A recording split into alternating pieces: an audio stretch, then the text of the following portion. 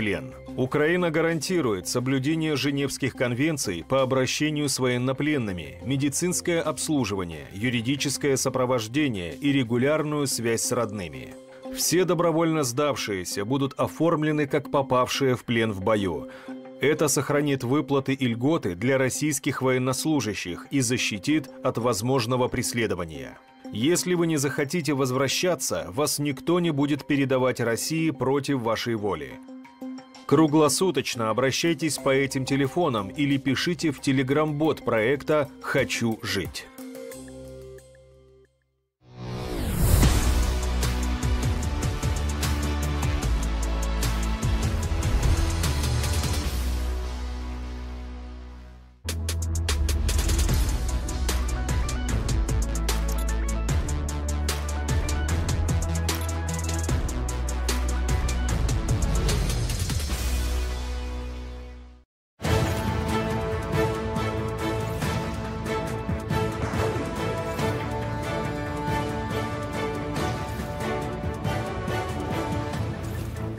21.00 в Украине. В эфире итоговый выпуск новостей. Воскресенье. В программе «Наше время» сегодня остановимся подробнее на таких событиях. Украина готовит ответ российским террористам. Россия снова нанесла несколько ударов по Харькову. Есть разрушения и пострадавшие. Миллион снарядов. Эстония поможет закупить партию боеприпасов для вооруженных сил Украины на несколько миллиардов евро. Обстановка в российском Орске критическая. Подтоплено более шести с половиной тысяч домов. Число пострадавших приближается к сотне. Важно не только попасть в цель, но и сбить БПЛА с курса. Как украинские зенитчики охраняют небо от российских дронов, спасая жизни сослуживцев и гражданских на Бахмутском направлении. Задать буває по 20 і більше дронів запускають. Россия в очередной раз нанесла несколько ударов э, по Харькову. Впоследствии, вследствие обстрелов пострадало 5 мирных жителей. Повреждены по меньшей мере 13 многоэтажек и частных домов, учебные заведения, кафе, общежития, гостиницы и автомобили. По предварительным данным, россияне выпустили по городу две авиабомбы. Сейчас они избрали тактику э, чистую, террористическую, тогда, когда бьют один раз. Тут россияне э, бьют второй раз отлично, понимая по всем своим координатам, что это э, гражданское население, что это гражданская инфраструктура, что это жилые дома. И э, с, даже, даже сейчас не стараются как-то э, спрятать или замаскировать эти свои террори... это, это свое террористическое направление. Поэтому Э, удары сейчас по всей линии фронта, удары по украинским городам, они подтверждают в очередной раз, что Россия готова воевать и воюет э, в интересах своей, опять же, верхушки, э, не придерживаясь никаких норм и правил ведения войны. После обстрела президент Украины провел совещание, совещание с главой СБУ, руководителем ГУР и министром внутренних дел. Он подчеркнул, Украина готовит ответ для Российской Федерации. Был весь день на зв'язку. Был весь день на связи с военными, с главкомом, а также с руководителем службы безопасности Украины и министром внутренних дел. И по ситуации на передовой, и по российским ударам по нашей стране. Особое внимание, конечно, Харькову. Ситуация в городе очень тяжелая. Постоянный российский террор, теперь еще фактически ежедневно авиабомбы. Мы ищем возможности дать Харькову больше защиты неба. И это задача как для военных, так и для всех дипломатов Украины. Для каждого и каждой, кто отвечает за международную коммуникацию информацию, кто ежедневно должен быть в диалоге с партнерами. Посол Соединенных Штатов в Украине Бриджит Бринг также отреагировала на очередные обстрелы России Харькова и области. Она отметила, что удар в Купинске Харьковской области пришелся на жилой дом и убил 85-летнюю женщину. Вторую ночь подряд Россия запускает ракеты по жилым районам Харькова, чтобы посеять панику. Одна из них врезалась в дом в Купенске Харьковской области и убила 85-летнюю женщину. Наше соболезнование близким всех погибших в этом бесстрашном регионе. Бриджит Бринг, посол США в Украине, в соцсети X. Эстония нашла возможность закупить еще одну партию боеприпасов украинской армии на несколько миллиардов евро. Об этом заявил министр обороны страны Ханна Певкур. По его словам, у Эстонии есть возможность приобрести для украинской армии снаряды и ракеты на сумму от 2 до 3 миллиардов евро. Однако это будет возможно в случае, если союзники предоставят средства. Учитывая стоимость боеприпасов, речь может идти о примерно одном миллионе снарядов и ракет «Град». Эстония смогла бы достать эти боеприпасы в основном из неевропейских стран, поскольку заказы включают как 155 миллиметровые, так и 152 миллиметровые снаряды. Россия также активно ищет поставщиков во всем мире через Беларусь. Определенная гонка со временем, чтобы увидеть, кто сможет снабдить их первым. Ханно Певкор, министр обороны Эстонии, в интервью изданию «Постимис». Главнокомандующий ВСУ Александр Сырский и министр обороны Рустем Умеров ознакомились с новыми разработками украинских производителей. Речь идет о дронах разных типов, разминирующих э, роботах и о других технических решениях. Все они вскоре могут появиться на фронте, отметил Сырский. Мотивированные технические команды постоянно работают над улучшением своих продуктов, уже применяемых в войсках, и развивают стартапы на основании поставленных нами задач для достижения тактических и оперативных целей. Особого внимания заслуживают боевые роботизированные платформы, которые вскоре будут массово участвовать в боевых действиях. Александр Сырский, главнокомандующий ВСУ, в Facebook. Украинские защитники отмечают возросшее количество ударных и разведывательных БПЛА противника на Бахмутском участке фронта. Противостоять этому оружию в небе становится все сложнее. Мобильные огневые группы находятся на круглосуточных боевых дежурствах. На позиции зенитчиков побывала и наша съемочная группа. Бахмутский плацдарм. Протяженность этого боевого направления в Донецкой области около 100 километров. Каждый участок фронта здесь контролируется силами украинской обороны. На смену снежной зиме пришла весна. Погода поменяла и условия на фронте. Дорога покращилася, дронів з їх боку стало більше. От як ви відчуваєте? Більше стало? Набагато більше. За день буває по 20 і більше дронів запускають. Быстро добравшись на позиции зенитчиков, стараемся узнать как можно больше информации об их боевой работе. Времени не так много. В любой момент защитники могут открыть огонь по целям, нарушающим воздушное пространство. Скільки часу треба на підготовку? Бачимо ціль, вже можемо працювати. От скільки? Секунди, секунди. Реально секунди. Так, так. 15-20 секунд. Шахеды для поражения боевых позиций противник не использует. Здесь чаще украинские военные сбивают беспилотный комплекс «Орлан» или баражирующий боеприпас «Ланцет». Залетают сюда и недавно появившиеся у россиян дрони «Привет-82». Саме така небезпека, що їх можуть наробити дуже багато, і кількість е, така. І, звичайно ж, е, еквівалент е, взривчатого вещества в 82-й міні.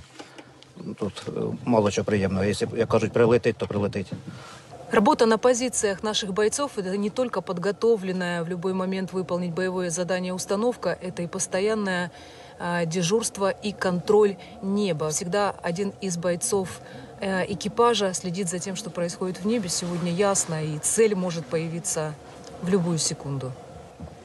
Небо чисте. Чтобы сбить беспилотник, зенитчики должны его увидеть. По звуку же бойцы могут определить, какой именно дрон приближается. Це як голос людини. От голос людини він можна ж відрізнити. Так же само і тут він є- має свої якісь характеристики такі, що вони запам'ятовуються. В такую ясную погоду дроны-разведчики летают высоко, но увидеть их все же можно. Боевого задания долго ждать не пришлось. Сейчас ребята занимают боевую позицию для того, чтобы атаковать воздушную цель.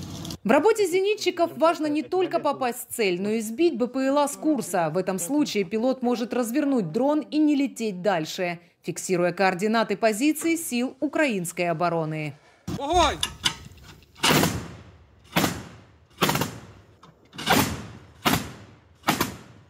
Самое главное после отработки по целям незамедлительно покинуть позиции. И на это у ребят времени немного. Якщо ну, стріляєш, це вже ж вичисляє, і вже потім там є минут 10, щоб уїхати. Тому що зразу то потім прилітає. За свою боевую практику эта огневая группа, работающая в одном экипаже не один год, приближалась к противнику на расстоянии чуть более километра. Ведь эту установку нередко используют для нанесения ударов по пехоте и технике. И прямо сейчас подробно расскажем о ситуации на фронте из сводки Генерального штаба Вооруженных сил Украины. Украинские десантники и бойцы бригады «Азов» показали, как разбили колонну противника. В результате неудачного штурма под Тернами Донецкой области российские оккупанты потеряли 11 единиц техники. Один танк уцелел и достался ВСУ в качестве трофея.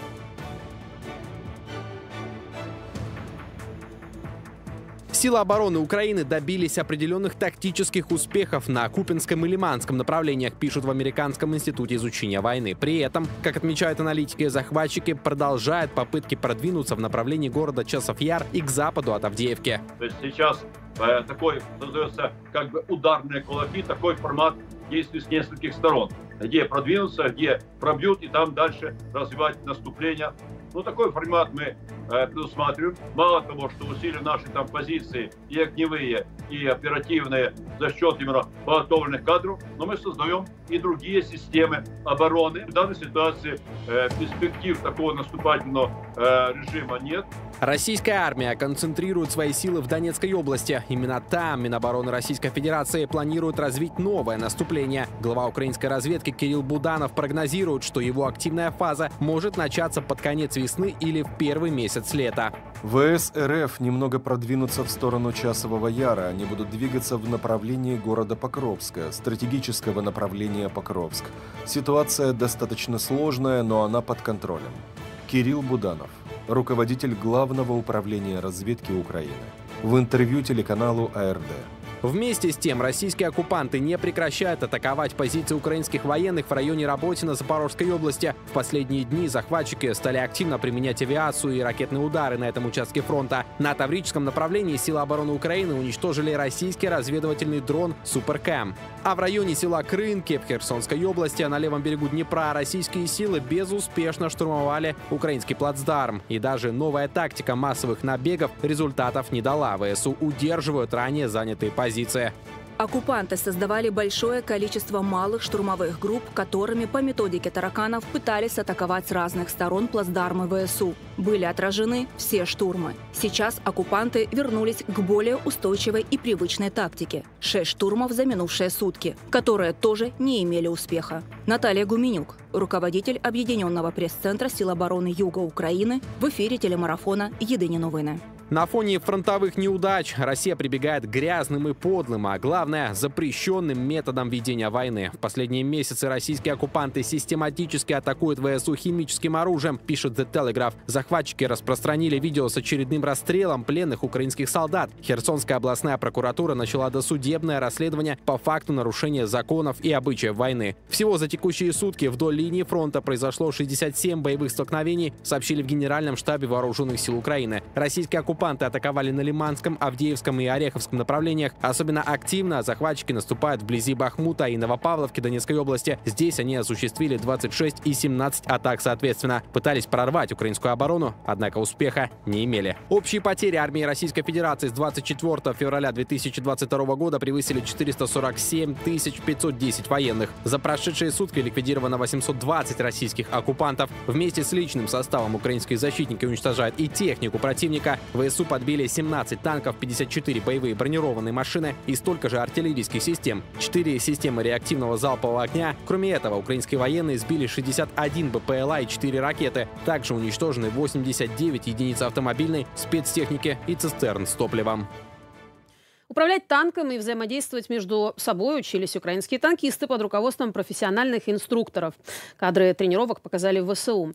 Как рассказал командующий сухопутными войсками Александр Павлюк, подготовка танковых экипажей проходит в учебных центрах сухопутных войск. Танки – главная ударная сила современного войска. Украинский танкист должен быть готов к любым неожиданностям на поле боя. Именно поэтому в учебных центрах сухопутных войск постоянно идет подготовка танкистов. Под руководством профессиональных инструкторов наши воины учатся маневрировать, вести огонь с места исходу, а также взаимодействовать во время боя. Александр Павлюк, командующий сухопутными войсками вооруженных сил Украины, в Телеграм.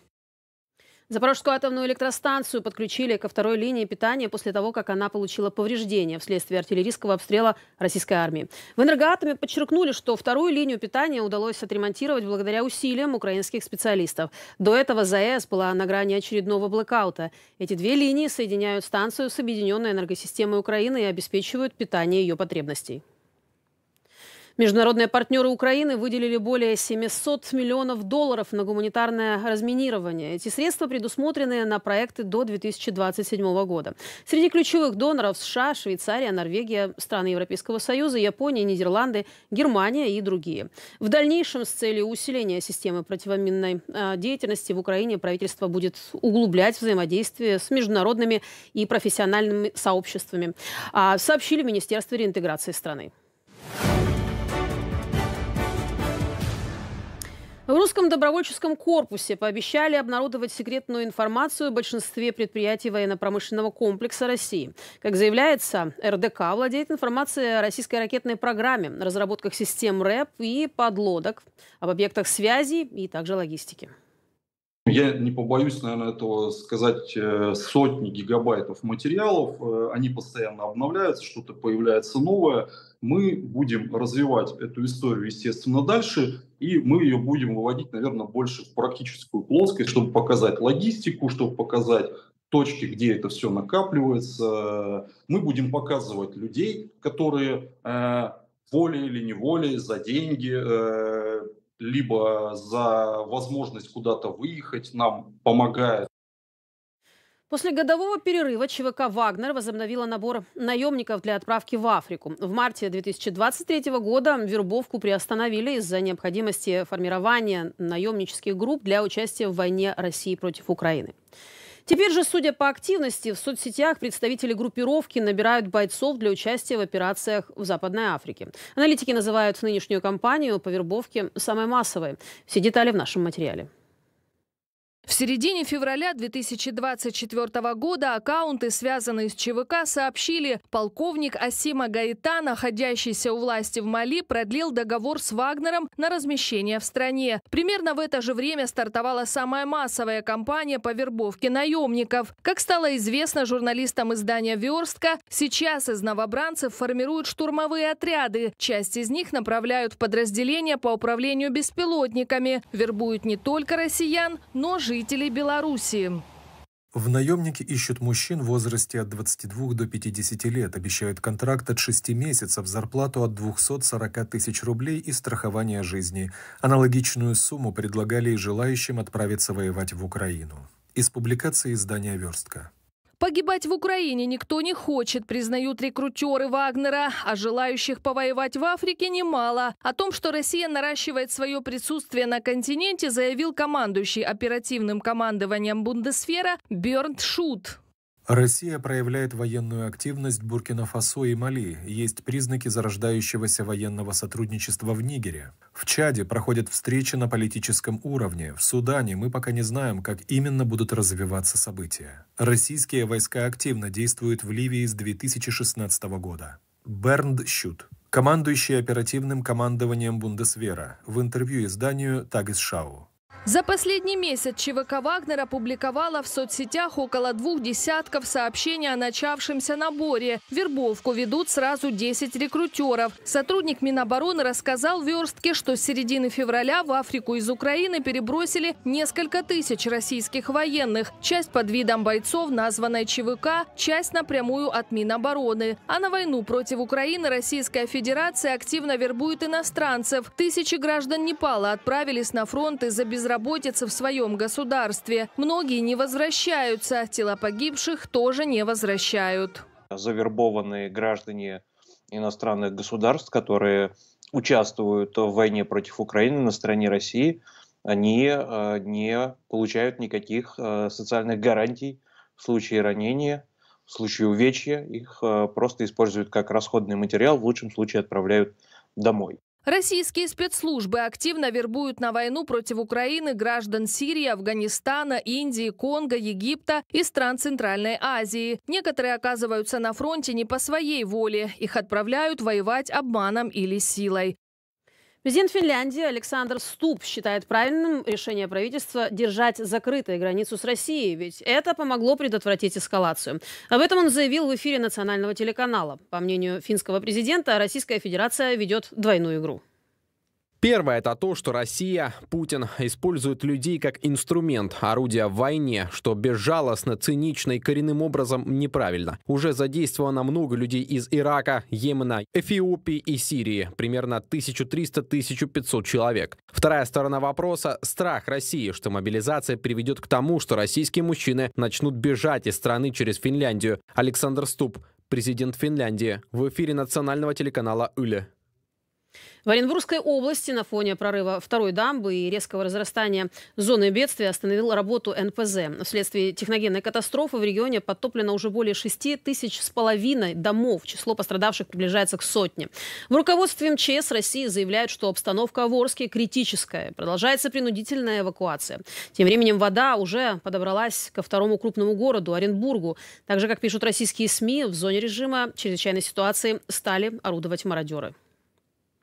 Но тем временем в магазинах российского Орска пустые полки с питьевой водой, также в дефиците соки, молоко и хлеб. В местных пабликах горожане жалуются не только на дефицит, но и на а, цены, которые в магазинах подскочили в 2-3 раза. Одна из причин – жители опасаются отравлений. Говорят, вода из-под крана грязная, желтая, а местами ее вообще нет. Также местные говорят, что сильно вырос спрос на крупы и тушенку. В Министерстве энергетики России заявили, что все НПЗ, которые пострадали от атак беспилотников, отремонтируют до лета. Но российская компания «Лукойл» с января не может восстановить бензиновую установку на своем нефтеперерабатывающем заводе. Единственная компания, которая могла это сделать, ушла из Федерации после начала полномасштабного вторжения России в Украину.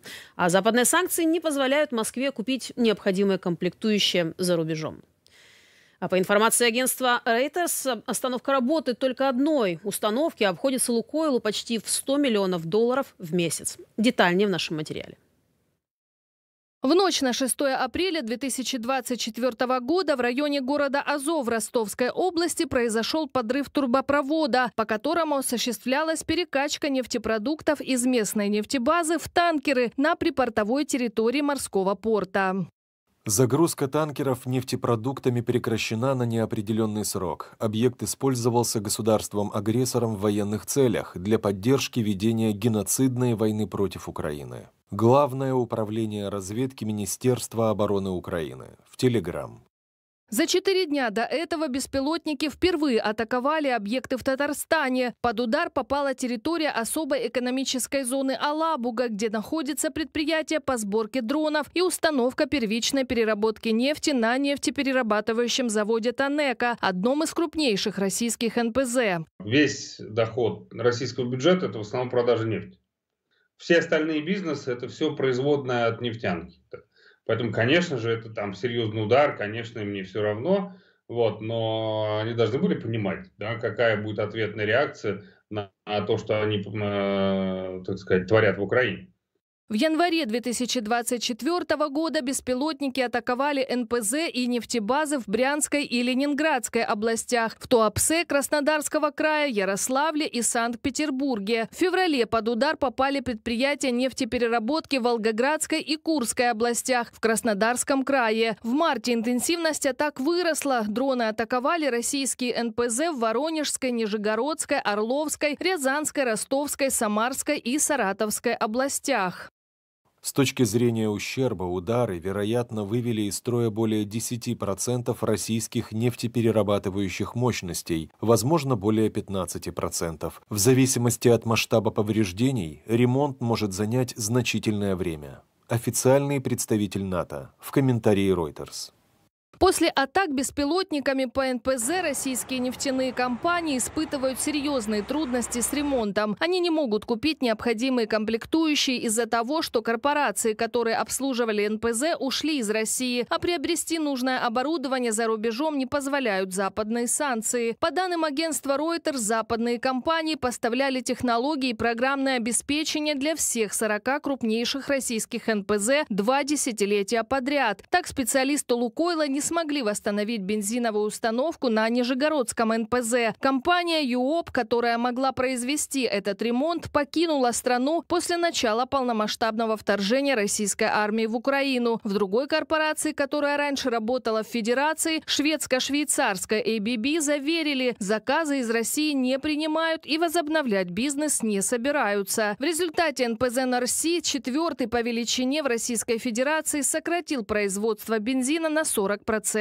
Если разрушается, так сказать, оборудование на всяких там нефтеперерабатывающих заводах, еще где-то, то это, конечно, головная боль. Это может привести к э, значит, э, кризису на нефтяном рынке. В России с 1 марта ввели трехмесячный запрет на экспорт бензина из-за его дефицита внутри государства. Если удары по НПЗ продолжатся, то Москве придется запретить и экспорт дизельного топлива, прогнозируют эксперты. В дальнейшем не исключено, что Федерации придется закупать больше нефтепродуктов в других странах, например, в Казахстане или Беларуси.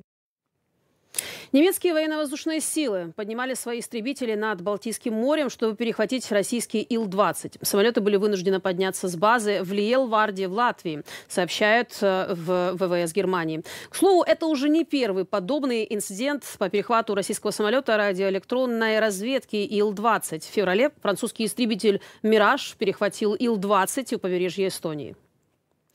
А в Румынии начнутся учения НАТО «Морской щит-24», сообщает Министерство э, Минобороны государства. Военные стран Альянса и государств-партнеров отрабатывают борьбу с незаконной деятельностью в морской и речной местностях. Учения пройдут с 8 по 21 апреля и будут включать морские и речные операции в Черноморском регионе. В них будут задействованы более 2200 военнослужащих из 10 стран-членов Альянса. Также в маневрах э, примут участие партнеры НАТО, Молдова и Грузия в целом 12 государств. Десятки тысяч людей вышли на протест против правительства Виктора Орбана в центре Будапешта. Демонстранты прошли маршем к парламенту. Некоторые из них выкрикивали «Мы не боимся» и «Орбан в отставку». Многие были одеты в красно-бело-зеленые национальные цвета Венгрии или несли национальный флаг. Верните людям возможность выбирать и решать, будет ли нашей страной руководить коррумпированная, несостоявшаяся правящая элита или новая, неподкупная власть. Настоящая причина этого протеста – это сотни тысяч людей, которые отчаянно пытаются изменить ситуацию в Венгрии. И это очень впечатляющее проявление. Армия обороны Израиля вывела почти все свои войска из южной части сектора Газа. В настоящее время в секторе Газа остается всего только одна израильская бригада, сообщает издание Times of Israel. Вывод израильских войск с юга сектора Газа произошел после четырех месяцев непрерывных боев. У оставшейся там бригады задача обеспечить безопасность так называемого коридора протяженностью более 6 километров, который позволяет армии обороны Израиля совершать рейды в северной и центральной части Газы.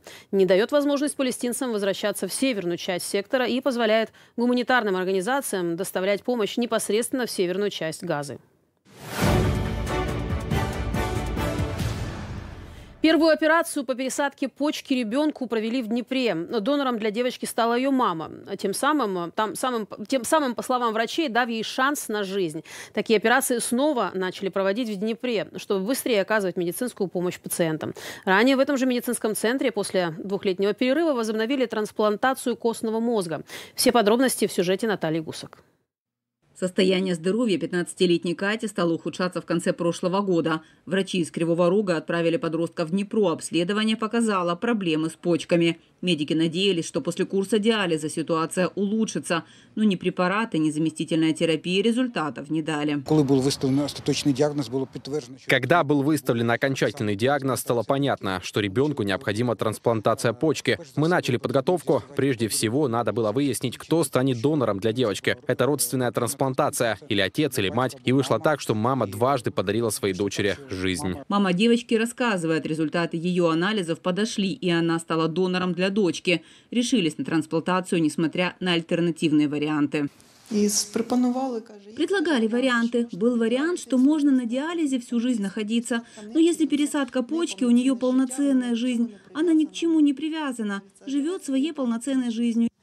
То у нас не было с мужем никаких сомнений, что я, что муж, мы сразу же сказали, Что, согласны? Сложная операция проходила в региональном медицинском центре семейного здоровья. Хирургическое вмешательство длилось около 7 часов. Одновременно специалисты работали в двух операционных. В одной операционной находилась мать В одной операционной находилась мать ребенка, донор, у которой проводилось излечение почки. После этого орган надо еще подготовить. В другой операционной рядом находилась девочка, у которой во время излечения почки матери уже был сформирован доступ для имплантации почки. Это была первая трансплантация Трансплантация почки ребенку, проведенная в Днепропетровской области, поэтому медикам на всех этапах помогали коллеги из Киевского Ахмаддита. Было задіяно дуже-дуже багато людей.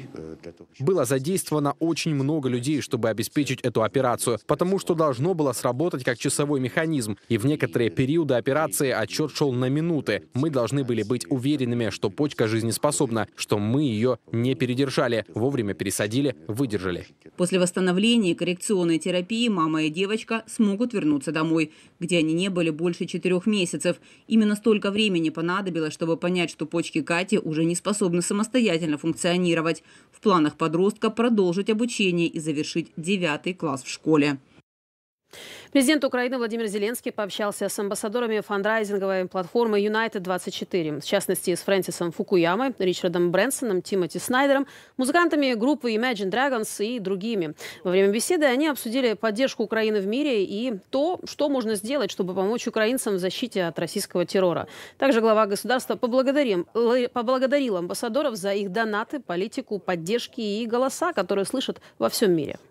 Thank you so much for this Благодарю вас за весь этот период, за весь этот путь, путь к победе. Спасибо, что мы вместе, что вы с Украиной. Я хочу попросить вас продолжать вашу работу, сосредоточенную на Украине. Мы нуждаемся в вашей поддержке и о Конгрессе. Без этой поддержки нам будет тяжело не то, что победить, но и остаться. Поэтому важно вместе делать очень конкретные вещи. И, конечно, я хочу дать вам месседж и попросить подумать, что мы можем сделать вместе публично. Возможно, какие-то сильные месседжи, какие-то сильные шаги шаги, чтобы привлечь внимание Конгресса и американцев к Украине.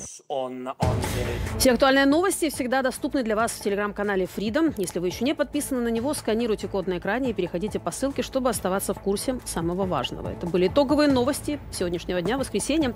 Далее не переключайтесь, эфир продолжат мои коллеги с гостями нашей студии виртуально, но о главных событиях в Украине и мире.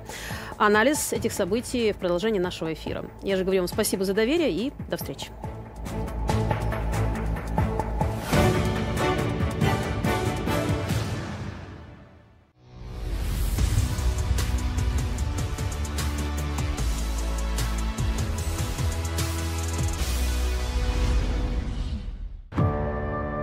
Украина страна не маленькая. Надо бы ее подсократить, чем мы, слава богу, и занимаемся. В этой войне их главное оружие – ложь. А вы не видите, что вас дурят, изымают части тел раненых на Украине для того, чтобы продать их потом за границу? Тут в ход идут самые низкие приемы. Мы жертвы агрессии. Мы воюем за Христа. Самый главный враг для нашего государства – это сатанизм. Теперь им стало мало Украины, и они хотят идти дальше. Никакого колебания по применению ядерного оружия не будет. Казахи, на Украину гляньте. И дальше еще можно. Еще Вашингтон есть там. Куда приведет их этот путь? Теперь в повестке упреждающее возмездие. Виновники войны. Завтра в 16.30 по киевскому времени на телеканале Freedom. Люди – главная ценность Украины. Они посвятили всю свою жизнь искусству. Она жила в мире красок и цветов. Он в мире музыки и нот. Екатерина Белокур – народная художница Украины. Екатерина не имела образования. Своими силами, без каких-либо знаний, открывала тайны изобразительного искусства. Ее картины были частью международной выставки в Парижском Лувре. Ее талантом восхищался сам Пабло Пикассо. Билеты на его концерты в Европе и США раскупали за считанные часы. Каждая запись исполнения Владимира Горовица казалась пределом совершенства. Владимир получил 25 премий Грэмми. Фраза «играет как сам Горовец» считается наивысшим комплиментом, о котором мечтает каждый пианист. Украина – талантливая и трудолюбивая.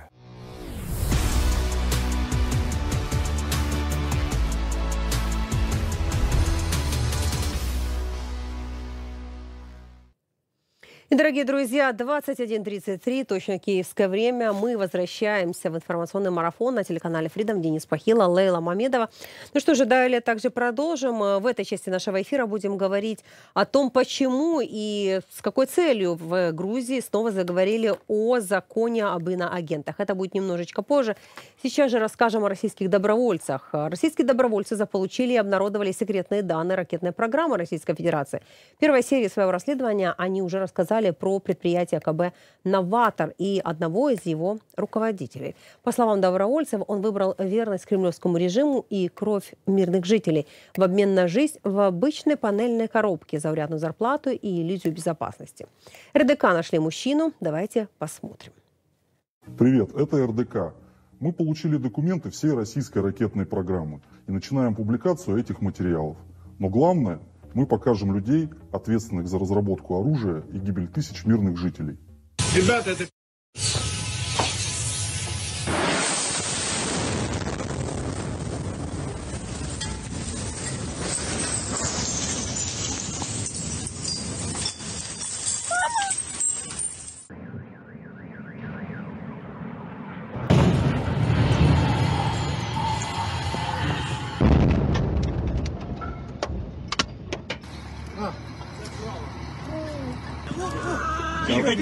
тихо, тихо, тихо. Что, что, что, где? В нашем распоряжении сотни секретных документов про десятки предприятий, задействованных в ракетной программе. Чертежи, презентации, контракты, протоколы заседаний и личные данные людей, работающих на них. Предприятие, о котором сегодня пойдет речь, производит не только ракеты.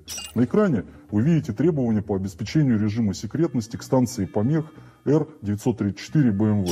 Она является частью комплекса Борисоглебск-2, который используется Россией в этой войне. Сегодня мы расскажем про одно из ключевых предприятий ВПК РФ, ответственных за бомбежки Украины и тысячи погибших мирных жителей. ОКБ «Новатор» – советское, а затем и российское предприятие, основанное в 1947 году как подразделение машиностроительного завода имени Калинина в Екатеринбурге. Согласно Википедии, «Новатор» – одно из ведущих российских конструкторских бюро, многопрофильное предприятие и разработчик ракетной техники, проектирующее для сухопутных войск, военно-воздушных сил и военно-морского флота, выходцем из которого является герой нашего видео. Все жертвы были бы невозможны без людей, которые собирают и проектируют орудия массовых убийств. УКБ «Новатор» разработал и производит ракеты «Калибр» и «Искандер-К». Испытывают ли работники данного предприятия угрызения совести? Давайте посмотрим.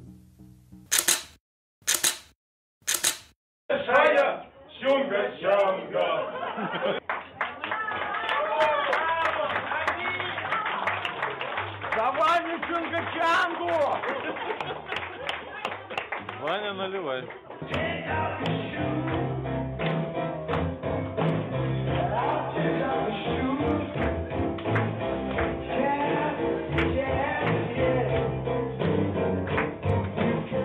Герой нашего сегодняшнего видео Виктор Георгиевич Саунин. Виктор Георгиевич руководитель представительства ОКБ «Новатор» в Санкт-Петербурге. Решает он самые важные вопросы, участвует в подготовке методик испытаний и напрямую взаимодействует с Министерством обороны Российской Федерации. В прошлом Виктор Георгиевич – первый начальник отдела космической разведки в составе Северного флота. Для гражданина Саунина станет сюрпризом, если мы скажем, что знаем о нем все. Паспортные данные, имущество, социальные сети, биография, где живет он и чем занимается его семья, а также про его увлечение бильярдом. Жена Саунина Светлана Игоревна – репетитор русского языка и преподает в Санкт-Петербурге на дому по адресу Камышовая улица, дом 32, как указано на сайте по поиску репетиторов. Дочь Павлова Карина Викторовна, по информации из открытых источников, практикующий стоматолог со стажем работы более 18 лет. Люди, работающие на российское ВПК, чувствуют себя неуязвимыми и защищенными государством, но обычно после подобных утечек сажают и наказывают всех – Например, дело о гиперзвуковых разработках, где четырех ученых посадили после публичных лекций, материалы которых перед выступлением всегда проверяет ФСБ РФ. Одного из ученых посадили в СИЗО с четвертой стадии рака. Но вернемся к гражданину Саунину. По этим документам видно, что именно он отвечает за увеличение производства модулей для ракет уже во время войны. План, который выполняет гражданин Саунин, это сотни ракет, которые были выпущены по мирным городам Украины. Саунин – это серийный убийца, и мы знаем про него все, как знаем все про десятки других предприятий ВПК. Является ли гражданин Саунин вместе с другими инженерами и проектировщиками законной целью для РДК и украинских спецслужб? Я думаю, ответ очевиден. Но гражданина Саунина должен интересовать другой вопрос. Не доберутся ли до него раньше российские спецслужбы? В 7 утра мне позвонил московский следователь а, ФСБ московский первого отдела, а, сообщает мне, вот, Максим, ваш отец задержан. Это говорит э, э, Федеральная служба безопасности. Ну, соответственно, 7 утра и московский номер э, у нас в Новосибирске. Я думаю, ну, шутка какая-то сбросил первый раз, второй раз тоже, третий раз позвонил уже отец. И как бы стало все понятно. Он мне позвонил и сказал, а, меня а, обвинят в госизмене за книжный материал, содержащийся в лекциях. Его забрали из частной клиники, в которую мы в срочном порядке его госпитализировали за день до задержания а, в силу ухудшения его состояния. У него рак поджелудочной железы четвертой степени с прогрессированием на другие органы метастазов. А, нам сообщили следующую информацию, что его в срочном порядке выписали. Произошел суд и избрана мера пресечения, содержание в СИЗО. Хотя могли избрать меру пресечения содержания под домашним арестом. Каким же образом вся секретная документация попала в руки РДК? В российском ВПК работают десятки людей, готовых продать родину и документацию за небольшие деньги. Возможно, именно сейчас один из этих людей сидит на секретном заседании рядом с гражданином Сауниным. Но Саунин не единственный серийный убийца, а новатор не единственное предприятие, информацию о котором мы добыли. В следующий раз вы узнаете секреты других предприятий и кто станет нашим следующим героем. Присоединяйтесь к борьбе вместе с РДК, финансово или вступая в ряды тех, кто противостоит кремлевскому режиму. Все ссылки в описании к видео. Добудем Родину! Если Грузия примет закон о так называемых иностранных агентах, то это может стать препятствием для вступления страны в Евросоюз. Об этом заявили в правительстве Германии. Речь, напомню, идет о законопроекте о прозрачности иностранного влияния, который правящая партия «Грузинская мечта» планирует внести на рассмотрение местный парламент. Это, напомню, уже вторая попытка принять закон, который называют буквально копией российского. Первая год назад тогда привела к массовым акциям. Тогда на улице улицы Тбилиси вышли десятки тысяч протестующих. Тему продолжит наш коллега Андрей Дмитренко. Новый законопроект об иноагентах в Грузии почти ничем не отличается от прошлогодней версии. Вот только формулировку «агент иностранного влияния» изменили на «организация, проводящая интересы иностранной силы». В 2023 году законопроект предусматривал, что грузинские медиа и некоммерческие организации, которые более чем на 20% финансируются из-за рубежа, должны зарегистрироваться в специальном реестре иноагентов. Тогда попытка правящей партии принять этот законопроект привела к массовым протестам в стране. После первого чтения документ отозвали. Теперь грузинская мечта решила вернуться к пройденному. Руководители парламентских комитетов ряда европейских государств подписали обращение к грузинской власти. Выражаем глубокую озабоченность содержанием этого созданного на путинско-российский манер закона, который призван заклеймить и ослабить активное проевропейское гражданское общество и сектор НПО Грузии. Искренне надеемся, что грузинская власть еще раз продемонстрирует зрелость и решимость в том, чтобы интегрироваться в европейские и евроатлантические институции, которые руководствуются западными ценностями либеральной демократии. На кону будущее грузинского народа из совместного обращения руководителей парламентских комитетов соцсети X. Правительство Германии с сожалением относится к тому факту, что несмотря на негативную реакцию общества в Грузии и за рубежом, правящая партия намерена повторно внести в парламент спорный законопроект, заявила заместитель официального представителя канцлера ФРГ Кристианы Хоффман. 12 апреля в Берлин с визитом приедет премьер-министр Грузии Ираклий Кабахидзе. Запланирована его встреча с президентом Штайнмайером и переговоры с канцлером Шольцем. Законопроект об иноагентах, который, по мнению Берлина, несовместим с европейскими ценностями, будет одной из тем для обсуждения. В прошлом году в результате протеста против этого законопроекта десятков тысяч представителей гражданского общества Грузии он был снят с повестки дня. Свобода прессы и медиа является основой любой демократии и важной предпосылкой членства в ЕС. В Грузии, получившей в конце прошлого года статус кандидата в члены ЕС и исторический шанс на вступление, знают об этом. Себастьян Фишер, пресс-секретарь МИД Германии в комментарии изданию Интерпресс Ньюс. Президент Грузии Саломе Зурабишвили назвала повторную попытку принять законопроект об иноагентах саботажем, который ставит крест на евроинтеграции Грузии. Президент Грузии имел в виду, что пытаясь принять законопроект, который так похож на закон, созданный Москвой, грузинское правительство посылает безошибочный сигнал о том, что оно больше заинтересовано в том, чтобы сделать одного человека в Кремле счастливым, чем приблизиться к Европе. Линкольн Митчелл, политолог, из публикации русской службы «Голоса Америки». В марте 2024 года представители правящей партии «Грузинская мечта» рассказали также о планах принять закон, ограничивающий права ЛГБТ, пишет Reuters. Речь идет в том числе о запрете так называемой ЛГБТ-пропаганды и гендерных переходов. Андрей Дмитренко для телеканала Freedom. Георгий Вашадзе, член парламента Грузии, с нами на связи. Приветствуем вас, рады видеть. Здравствуйте, приветствую.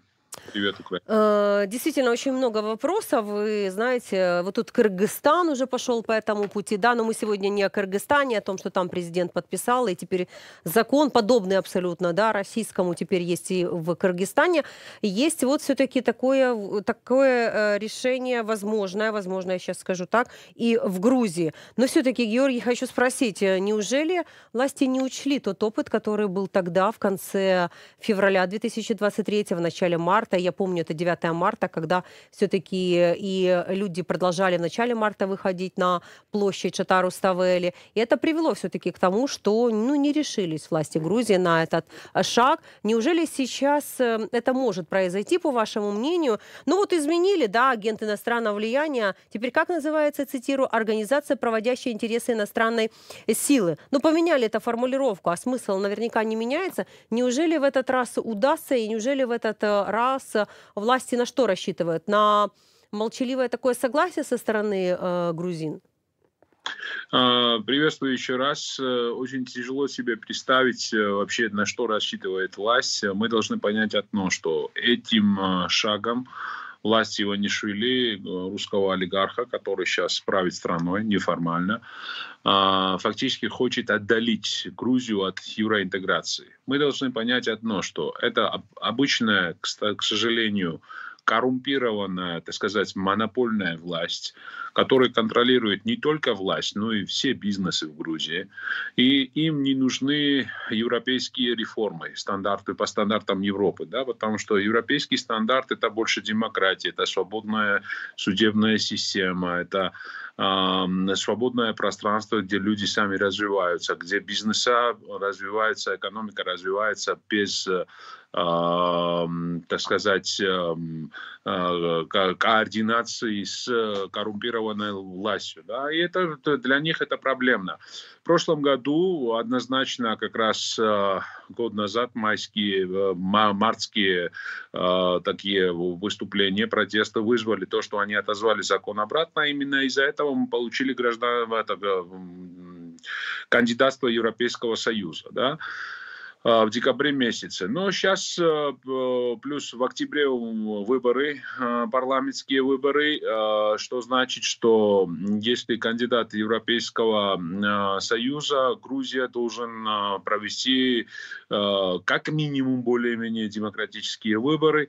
Если очень много наблюдателей собирается привести. Я думаю, что это, что сейчас инициировала действующая власть, это полный саботаж всего этого процесса.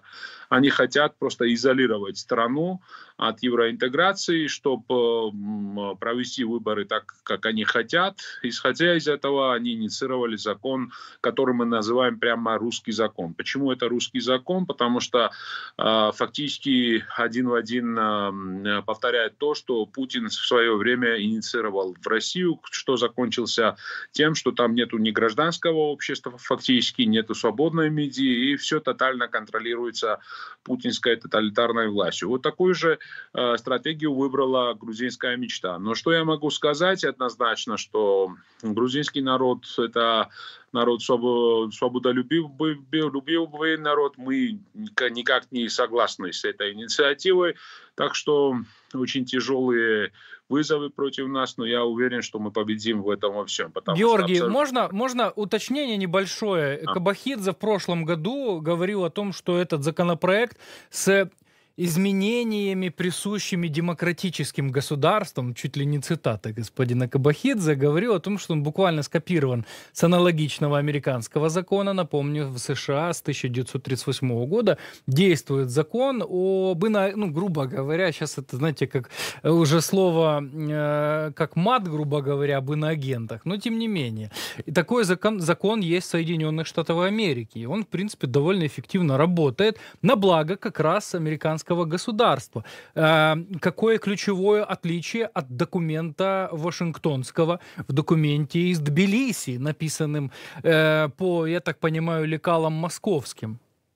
Смотрите, это все ложь, потому что все такие э, приблизительно законы, которые действуют в Америке, в Британии, в других странах, нацелены против стран, э, в, как бы, которые э, считаются, так сказать, врагом э, страны или считаются, так сказать, э, некой проблемой для развития демократии или проблемой для демократии. Но нацелено прямо открыто, скажем, против России, против, может быть, Китая и так далее. В случае Грузии закон, который инициирован, нацелен наоборот, против поддержкой, которую Грузия получает э, с Европейского Союза, с Америка, Соединенных Штатов Америки, да, они просто хотят проконтролировать все, так сказать, э, финансовые потоки, которые идут в развитие гражданского общества, в развитие не только как бы таких типичных гражданских организаций, но и плюс очень много проектов, которые финансируют социальные разные проекты в Грузии и так далее. И фактически, когда ты принимаешь такой закон против партнеров, это значит, что для тебя враг, а не партнер Европейский Союз. Вот в этом и есть отличие э, закона, который инициирован здесь. Один в один что, что э, Путин сделал. Да? Они, Путин что сделал? За, за, принял этот закон, изначально говорил, что просто там агенты будут эти люди, просто мы будем регистрировать все эти организации, а после этого начал, э, так сказать, закрывать все эти альтернативные независимые механизмы, которые развивали гражданское общество в России. Та же один в один стратегия в случае закона, который инициирована сейчас в Грузии, да, что это не нацелено на том, чтобы какая-то прозрачность была. Нет, наоборот, это нацелено в, в конечном итоге на то, чтобы э, независимые, неконтролируемые от э, Бедина Иванишвили финансы не захотели, которые, будут, которые будет развивать гражданское общества. А без гражданского общества нет демократии. Без свободной медиа нет демократии. И нет Европейского Союза, что самое главное. Да? И вот в этом и есть самый, э, самый смысл э, этого закона. Фактически Иванишвили окончательно пошел на по, по направлению, так сказать, полной автори, как бы монополизации всего абсолютно внутри страны. Вы знаете, что Михаил Саакашвили, гражданин Украины, кстати, сидит в тюрьме. Вы знаете, что очень много они проблемы создают для нас, для оппозиционных партий сейчас в стране. Да? И сейчас они хотят просто перекрыть полностью гражданское общество, чтобы не было альтернативной мнений внутри страны. Но я однозначно скажу, что мы это не допустим э, никак, потому что мы это грузин, грузинская, грузинский народ, еще раз скажу, что свободолюбивый народ. Может быть, мы не согласны в каких-то политических, э, э, так сказать, всегда есть разные политические мнения внутри страны, но мы об одном договариваемся, что мы хотим построить демократическую европейскую государство, европейское государство, да, и место Грузии в Европейском Союзе. Союзе. Так что э, однозначно этот закон красная линия, и поэтому э, наши западные партнеры очень э, резко и очень, так сказать, точно выражаются насчет этого закона. Э, уточняю, побуду, наверное, таким себе адвокатом дьявола. Э, да. да, что плохого в том, чтобы подать в профильное министерство документы о там 20, по-моему, да, процентном э, бюджете со стороны там западных, условно там западных, да, иностранных государств, скажем так, иностранных компаний, ну, не получить при этом штраф, по-моему, там 25 тысяч лари, по-моему, да, если не ошибаюсь, yeah. 9,5 тысяч долларов на момент тогда еще, когда принимали, собственно, непосредственно. Что в этом там плохого, грубо говоря? Ну, подали. В Грузии, если мне память не изменяет, таких масштабных репрессий, опять-таки, э, чтобы не было, да, сейчас мнений таких, э, я выступаю как адвокат дьявола. В Грузии нет таких репрессий в отношении народа, как в России, либо же как в Беларуси. Ну, извините, пожалуйста, но я не согласен. Тогда, когда пятый президент Грузии, третий президент Грузии Михаил Саакашвили сидит в тюрьме, я не могу сказать, что у нас нет репрессий. У нас mm-hmm. постоянно есть политические заключенные, мы постоянно боремся для освобождения этих политических заключенных, и, к сожалению, это не та страна, не та Грузия, к которому мы привыкли, что были некоторые демократические стандартные политические оппоненты не сидели в тюрьме, исходя из политических, так сказать, а, интересов правящей а, власти. Это раз. Второе, что как будто вот так очень просто начинал и Путин тоже в свое время, тогда говорил, что ну что плохого в том, чтобы сейчас зарегистрировать а, просто каких-то а, организаций, которые получают финансирование с западных а, донорских организаций. Потом начали называть этих людей агентов, агентами, потом сказали, что эти агенты вообще не должны существовать, понимаете? И в конце это все заканчивается тем, что они просто перекрывают все эти финансовые ресурсы для того, чтобы альтернативное свободное мнение вообще не существовало внутри страны. Так что это это все проходило. Россия, это все проходило не только Россия, и в других странах, где есть русское влияние, а, существуют такие же законы. Мы просто грузины говорим, что если мы хотим стать, а, членами Европейского Союза, у нас должна быть демократия, да, и все эти механизмы, которые существуют в Европейском Союзе, должны существовать и у нас тоже в Грузии. Свободное гражданское общество, свободное медиа, и наоборот, это очень хорошо, когда есть финансовая поддержка а, для того, чтобы все эти свободные институции, которые не контролируются властью, да, существуют, потому что это создает альтернативное мнение о тех или иных реформах, которые нужны внутри страны и так далее. А люди, которые сейчас в этих организациях э, работают, они однозначно не хотят называться агентами, потому что они не агенты, да, они просто э, развивают демократическое сообщество внутри страны.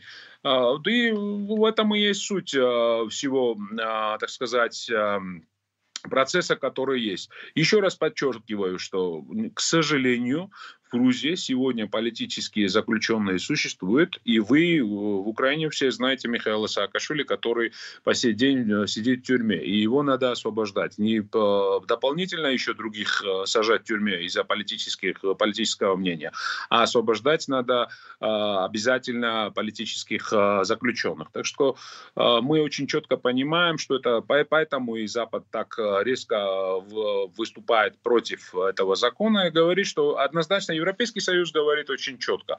Вы хотите Европейский Союз? Такой закон, такие регуляции не должны существовать. Не хотите Европейский Союз? Это ваше решение. Да, мы, да Георгий, кто, мы сейчас, кстати, показывали... Не вынуждает угу. Грузию да.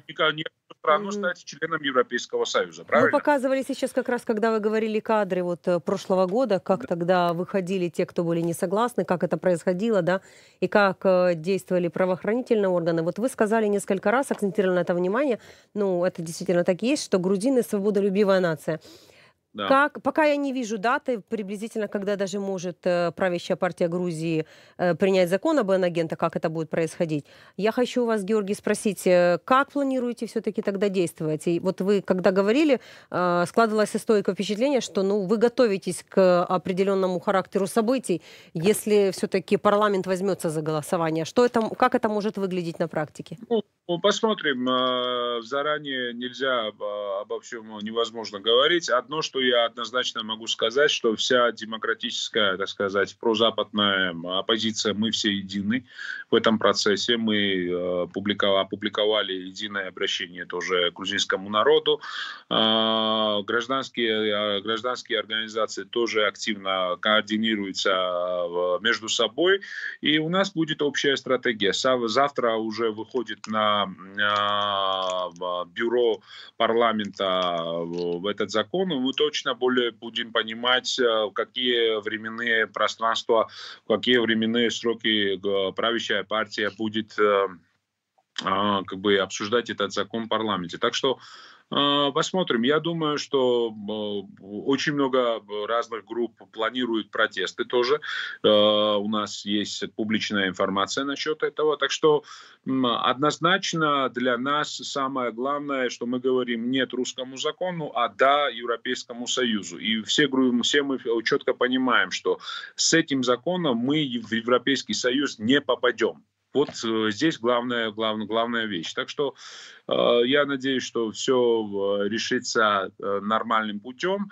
А, остальное все впереди. Я не могу говорить о детали, просто я тоже как гражданин Грузии, не только просто из-за того, что я в политике, я все сделаю для того, чтобы русского закона в Грузии не существовало, да, и чтобы Грузия стала а, членом Европейского Союза. Напомню, что э, говорящий рот э, Путина Песков, э, комментируя, собственно, реакцию оппозиции демократической грузинской в контексте этого закона об иноагентах, законопроекта, говорил, что Грузия это сосед, стабильность и предсказуемость ситуации там в интересах России. Ну, настолько откровенного связывания закона, законопроекта власти, правящей партии и Кремля, ну, тяжело придумать на самом деле. Ну, нельзя так, мне кажется, делать со стороны господина Пескова. А где же, да знаете, где эта политика? Нас там нет. И вот это наши, наши руки там, в принципе, не, присутствуют. Не присутствуют. Мамука, да-да-да, да, да, да, Георгий, хотели добавить об этом и, э, если честно, народ шокирован сейчас в Грузии, реально шокирован, Понимаю, потому прекрасно. что мог представить, что обратно вернут этот закон, потому что не просто то, что кто-то что-то где-то будет регистрировать, очень четко, понятно, это сказать, э, э, ситуация. Если у тебя есть вот этот русский закон, ну, нет твоего места в Европейском Союзе, да, и у тебя закрывается абсолютно весь процесс интеграции с Европейским Союзом. Еще больше, что европарламентарии даже сказали, что они могут это обратно отобрать и кандидатство, и визолиберализацию, безвизовый режим, который сейчас есть у нас с Европейским Союзом. Я через ваш эфир тоже хочу их попросить, что э, давайте не будем там очень быстро сейчас думать о таких резких решениях, потому что грузинский народ свое слово обязательно скажет. По, так что э, все впереди, э, все впереди, и э, посмотрим. Еще раз, для нас самая главная вещь, чтобы Грузия стала членом Европейского Союза, полноценным членом его вместе с Украиной, вместе с Молдовой. И мы четко видим, что максимум в 2030 году это может произойти. В конце добавлю также исполнительный секретарь грузинской мечты Мамука Мдинарадзе. Он э, назвал Facebook, не первый раз, кстати, э, глобальной партией войны. Это такая идея фикс в целом у грузинской мечты о том, что существует какая-то глобальная партия войны, которая хочет втянуть Грузию в войну, то ли в войну России против Украины. Ну, непонятно. Оставим этот, знаете, промежуток для фантазии того же господина Мдинарадзе. Интересно, что происходит в Фейсбуке блокировка э, баннеров в поддержку закона об иноагентах, поэтому э, представители э, партии «Грузинская мечта» и это, скажем так, подтолкнуло связать Фейсбук с глобальной э, партией войны. Вы просто сказали о неподдержке среди обычных граждан страны этого документа на самом деле. С какой целью? Это же не бесплатно делается, напомню нашим зрителям. Э, реклама в том числе вот таких законопроектов. Не на каких-то э, добровольных началах Facebook это делать? С какой целью рекламировать законопроект, документ, который не имеет популярности среди граждан этого государства? Ну, они просто распространяют дезинформацию, понимаете? А. Дезинформацию, якобы это очень хороший закон, якобы это в интересах э, страны. Они очень много ложь и дезинформацию, э, фейковые ньюсы распространяют через э, социальные сети. Алгоритм Фейсбука просто заблокировал э, все эти дезинформационные, так сказать, баннеры, посты, информации, которые распространяют через свои ресурсы «Грузинская мечта». Вы, чтобы понимали, в Грузии создана такая ситуация, что в социальных сетях есть у грузинской мечты очень много фейковых аккаунтов, так называемых, да, как бы ложные такие люди, якобы реальные люди созданы, да, и все это, вся эта активность, потому что народ не поддерживает их инициативу, они якобы хотят показать через соцсети, что якобы существуют люди, которые поддерживают их инициативу, понимаете? И исходя из этого, чисто автоматически Facebook заблокировала дезинформационные, ложные информации, которые они распространяли через э, социальные сети. Э, смотрите, грузинская мечта хочет создать некую, так сказать, сюрреальную, сюрре, нереальную, так сказать, э, фейковую пространство, да, информационное пространство, где люди начнут думать, что якобы что-то по-другому есть реально, чем они думают. Ну, это у них не выходит, потому что это фактически э, э, та дезинформация, о чем у нас в 9 пунктах, которые мы должны выполнить для того, чтобы перейти на следующий шаг, шаг э, э, в интеграции с Европейским Союзом. Один из 9 пунктов у нас э, как раз э, вопрос Э, о дезинформации, да, а source, как бы, этой дезинформации, откуда идет эта дезинформация, это правящая партия э, сегодня в стране. Вот, к сожалению, у нас такая реальность в Грузии, да. Э, наверное, много наших друзей в Украине думают, как мог Грузия дойти до всего этого, но, к сожалению, вот эта гибридная война, дезинформационная война, которая ведется против интересов нашей страны, к сожалению, работала до сих пор, пор. А, и я уверен, что это последний год, когда а, вот все это существует еще в стране. В этом году, в прошлом году грузинский народ победил а, власть, и мы получили кандидатство Европейского Союза. В этом году мы победим обязательно и над этим законом, и победим в выборах, народ победит в выборах, которые поменяют абсолютно всю реальность внутри страны, потому что грузины, 85% нашего народа поддерживает евроинтеграцию, интеграцию, они, они хотят быть э, частью Европейского союза, сообщества, там, где у нас наше историческое место и есть. Спасибо вам огромное, Георгий, за участие в нашем эфире. Обязательно увидимся. Георгий Вашадзе, член парламента Грузии, был с нами на связи. Дорогие друзья, мы следим за этой темой, мы следим за событиями в Грузии. Вам же сейчас предлагаем оставаться вместе с нами. Небольшая пауза, мы вернемся и продолжим.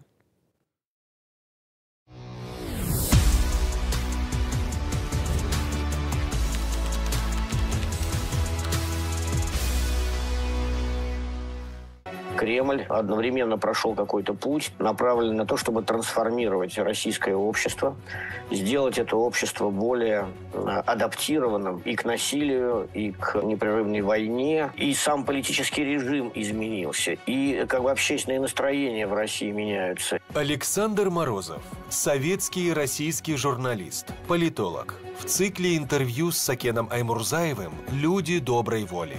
Во вторник в 12.00 по киевскому времени на телеканале Freedom. Вопреки всем препятствиям и мрачным сценариям, Украина не пала. Украина жива и бьется. Мы победили Россию в битве за умы мира. У нас нет страха, и ни у кого в мире не должно его быть. И это дает нам смелость, которой восхищается мир. Российская тирания потеряла контроль над нами и больше никогда не будет влиять на наши умы. У россиян тоже может быть шанс на свободу, только когда они победят Кремль в своих головах. Освободи свое право на выбор. Freedom.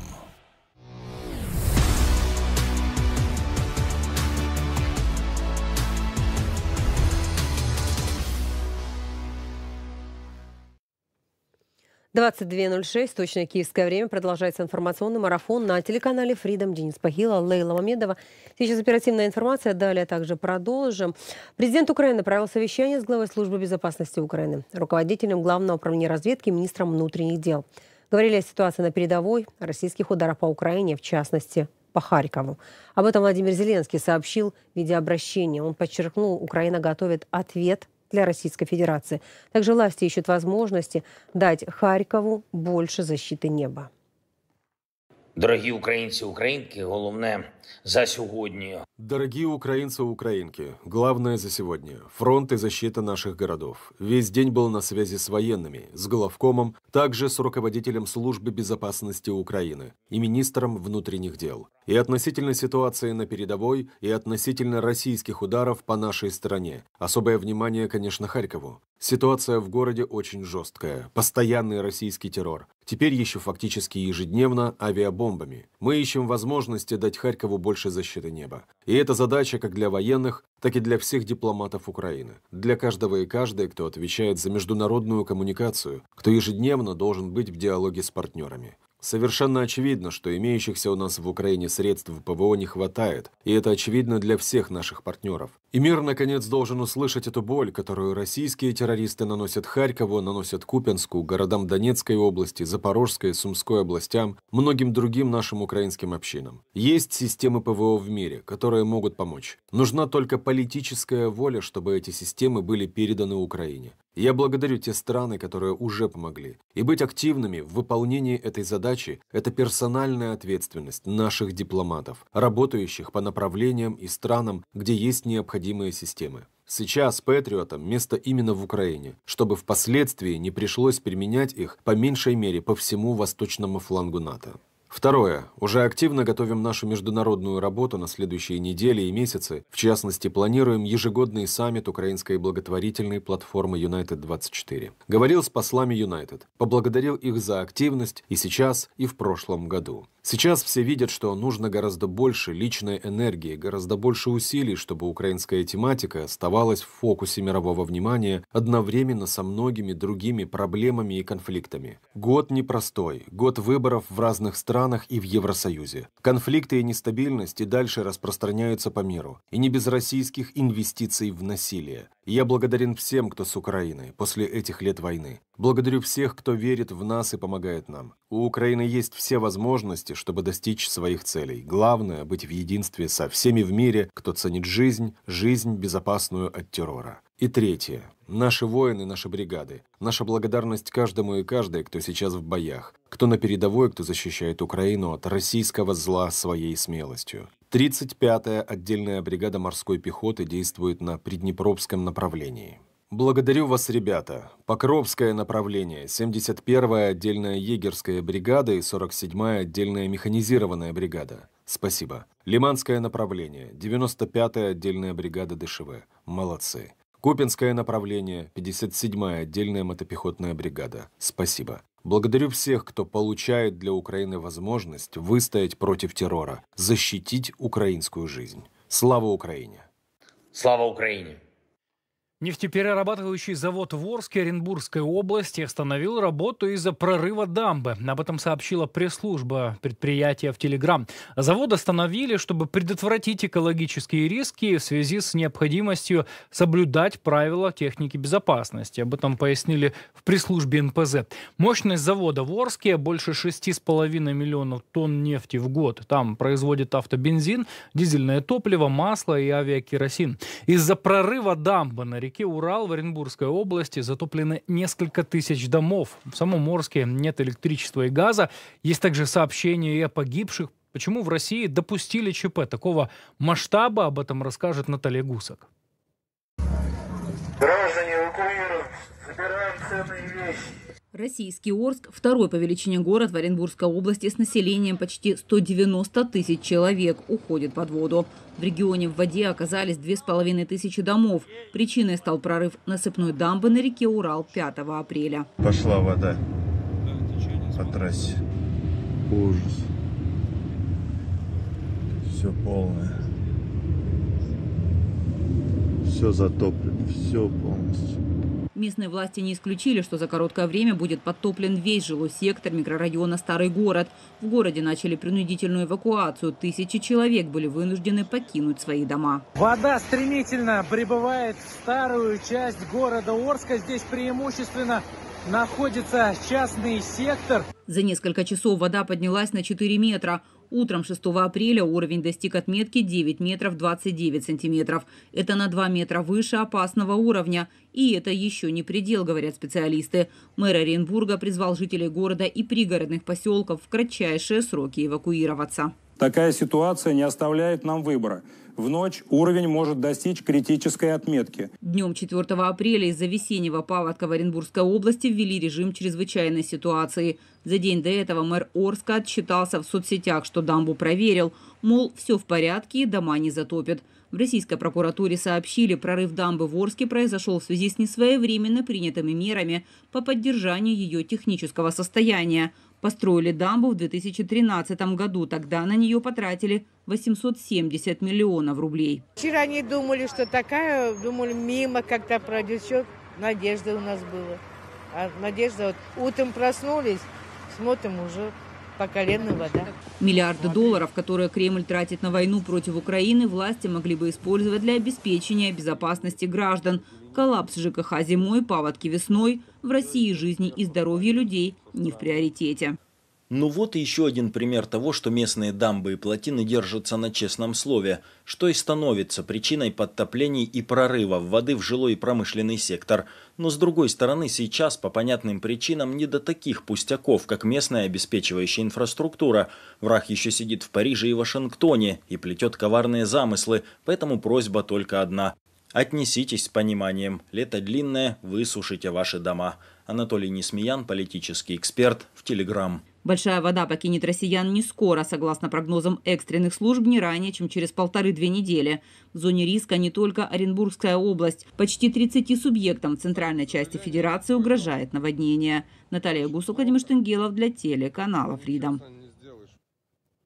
Дмитрий Еловский, политический комментатор, ведущий канала Ходорковский Лайв, сегодня с нами на связи. Дмитрий, приветствуем вас. Приветствую, коллеги.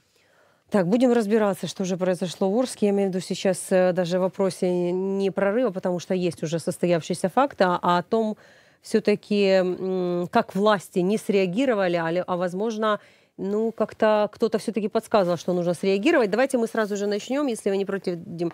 3 э, апреля э, мэр Орска, я напомню, это Василий Казупица, делает определенный отчет, я сейчас очень коротко цитирую, вода местами присутствующая, э, да, и так далее. Это нормальное явление. Он далее описывать технически не буду, но я что важно. Пообщался с жителями, живущими вблизи Урала. Опасений у людей, что их может затопить, нет. Вспомнили времена, когда Орс переживал половодье в отсутствие дамбы, тогда а, паводком топило дома на улице Набережной. Сейчас такой угрозы нет. Это было 3 апреля. Но Тут далее нечто происходит. По, Сейчас, да, да, можем, да, коллеги, показать э, это пост в этот же день, Дениса я Паслера, да, 3 апреля 2024 года. Тут есть пост в Телеграме у него.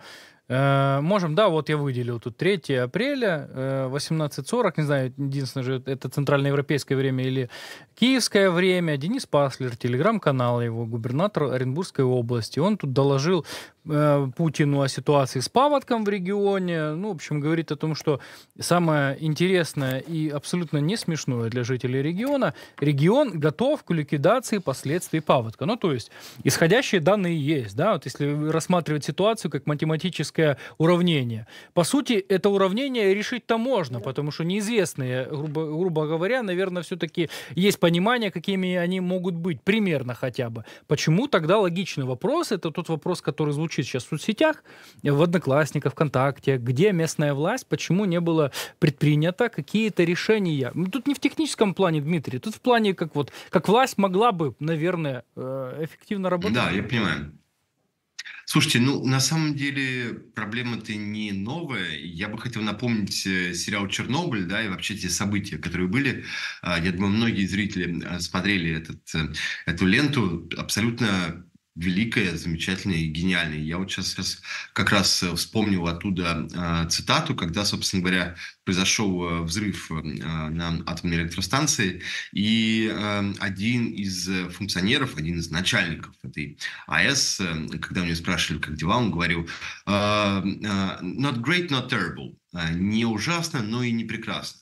А там уже, значит, э, полная катастрофа, уже, значит, э, облако радиоактивное а, несется в сторону Норвегии, но не ужасно, но и не прекрасно. Но в целом, мне кажется, это такая мантра, которая живет ну уж точно с середины 80-х по э, наши дни в каждом э, советском начальничке или там, не знаю, директоре или как угодно назовите, э, мэре небольшого э, российского города. Э, главное сделать вид, что все неплохо, главное сделать хорошую мину при плохой игре, э, авось принесет, авось не узнают, авось э, по шапке не надают. Но это, конечно, полное попустительство. Это очередной, во-первых, пример классической русской коррупции и распила, а во-вторых, в нем есть и совершенно э, приметы нового э, военного времени, э, в котором Россия живет. На самом деле, я полагаю, что без помощи Запада, без западных комплектующих, без расходников, ни одно техническое или технологическое предприятие в России нормально функционировать э, не может. Насколько бы оно импортозамещенным, э, рублевым, э, исконно, посконно русским не было. Я полагаю, что это станция еще докажет нам а, верность э, моей а, теоремы, но при этом мы точно можем говорить, что человеческий фактор не меняется, не менялся, и он будет таким, как мы видели сейчас, мелочным, вороватым и надеющимся на то, что сверху никто не узнает и как-то удастся избежать Э, кары из федерального центра. Это то, чего на самом деле боятся чиновники в России. И мэры, и градоначальнички. Э, не э, гнева народного, да, а то, что из Москвы приедет начальник, снимет с должности и еще там ну, тащит за собой вниз половину своей местной вот этой чиновничьей рати. С вами действительно тут абсолютно все согласятся события 38 э, лет назад, то, что тогда произошло в Чернобыле. И спасибо, что вспомнили сериал. Тут уже вот скоро а, очередные, да, очередная годовщина аварии, 26 э, апреля. Но данным, да, мы специально вот показали то, что мэр Орска говорил, что дали губернатор. Все-таки, ну вот мэр, в частности, вот фамилия, еще раз, Казупица, я так не запомню, Казупица, он не поплатится все-таки своей должностью? Как вы видите это? Я думаю, что мэр э, не поплатится, но, скорее всего, посадят э, технических директоров, э, тех, кто отвечал за э, вот именно за техническое оснащение этой э, дамбы э, на таком на среднем уровне. Э, вот э, против них будет и уголовка, и э, скачить никому не удастся. Притом я полагаю, скорее всего, я работал с такими людьми, я знаю их. А на самом деле это честные люди, это хорошие люди, которые, скорее всего, уже давным-давно бьют во все э, колокола, кричат и орут о том, что это, это так, так, так быть не может. Э, мы э, э, при таких технических условиях мы не вытащим. Будет авария, будет страшная, будет ужасная. И, скорее всего, я полагаю, что люди такого уровня, да, ну и давайте как бы скажем честно, да, там советские технари, они еще не перевелись, и существует хорошая школа советская, да, вот они еще как бы, может быть, а, мы должны сказать им спасибо за то, что не было того прорыва еще раньше и еще больше э, жертв и жизней не унесла, да, эта авария. А, но а, я думаю, что людям, которые занимают посты, ну, примерно там от а, начальника этой дамбы, от директора предприятия, да, до, до мэра Орска, конечно, ничего не грозит. Конечно, ничего не грозит ни мэру Оренбурга, ни другим начальникам, не говоря уже там про каких-то федеральных чинуш. Их кара-кара обойдет. Но вот я думаю, что низшее звено и средний уровень, конечно, ответит. Как всегда, быть виноват стрелочник. А, Песков заявил о том, что Путин поручил главе МВД Владимиру Колокольцеву обеспечить охрану правопорядка и имущества граждан в районах подтоплений э, в, Кур... Э, в Тюменской областях, области в том числе. Ну, во-первых, первый вопрос, а разве сам Колокольцев не умеет сам справляться, не знает свои обязанности, что, в принципе, ему необходимо делать по написанным документам? Ну, то ладно. Просто такая формулировка, она заставляет задуматься, насколько автономны в своих решениях региональные чиновники, главы министерств, министерств и прочее. Ну, то есть, правильно ли связывать произошедшее в Оренбургской области и еще в двух областях, если я правильно понимаю, в Башкортостане также могут быть проблемы, в Челябинской области могут быть проблемы, в Казахстане могут быть проблемы в том числе. Эм, правильно ли эту проблему связывать с Путиным, как главой Кремля, который по своим конституционным обязанностям, ну, давайте говорить откровенно, э, дамбами не должен заниматься в Оренбургской области и вообще думать о них? Ну, э, вы совершенно правы. Э, тут у Путина, конечно, по-хорошему в любом там развитом демократическом обществе была бы, наверное, только лишь роль публичная, да, человек, который там приехал бы на место, как-то там э, выражал бы как, какие-то эмоции, поддержку, может быть, да, скорбь там, типа погибшим, как-то э, э, старался бы выделить дополнительное финансирование на э, ликвидацию последствий наводнения. Но как бы русский зритель привык к сильной руке, Поэтому Путину ничего другого не остается, как э, начать, как быть вновь капитаном очевидность, да, и говорить, что вот, э, товарищ Колокольцев, вы, значит, не допустите там мародерства, а если вот мародеры будут, то вы уж, пожалуйста, их там по всей строгости закона, так сказать, накажите. Ну, э, как будто все это уже и так как бы знают, это все уже э, ясно, очевидно и прописано. Что касается региональной власти, то она, конечно, э, не самостоятельная. Э, и тут ведь забавно еще, знаете что, что Министерство чрезвычайных ситуаций, которое раньше возглавлялось э, господином Шойгу, который сейчас э, э, является министром обороны, да, вернее, нападения Российской Федерации. Это было мощное ведомство, которое постоянно работало, и которое было самое публичное, и Шойгу был какое-то время второй по популярности, собственно говоря, человек в России – его рейтинг был зашкаливающий, потому что, ну почему? Потому что, конечно, все время случаются или паводки, или пожары, или наводнения, или что-то еще. И везде есть Шойгу, который вроде как э, решает вопросики. Но вот э, сейчас э, Шойгу вопросики не решает, а только лишь создает.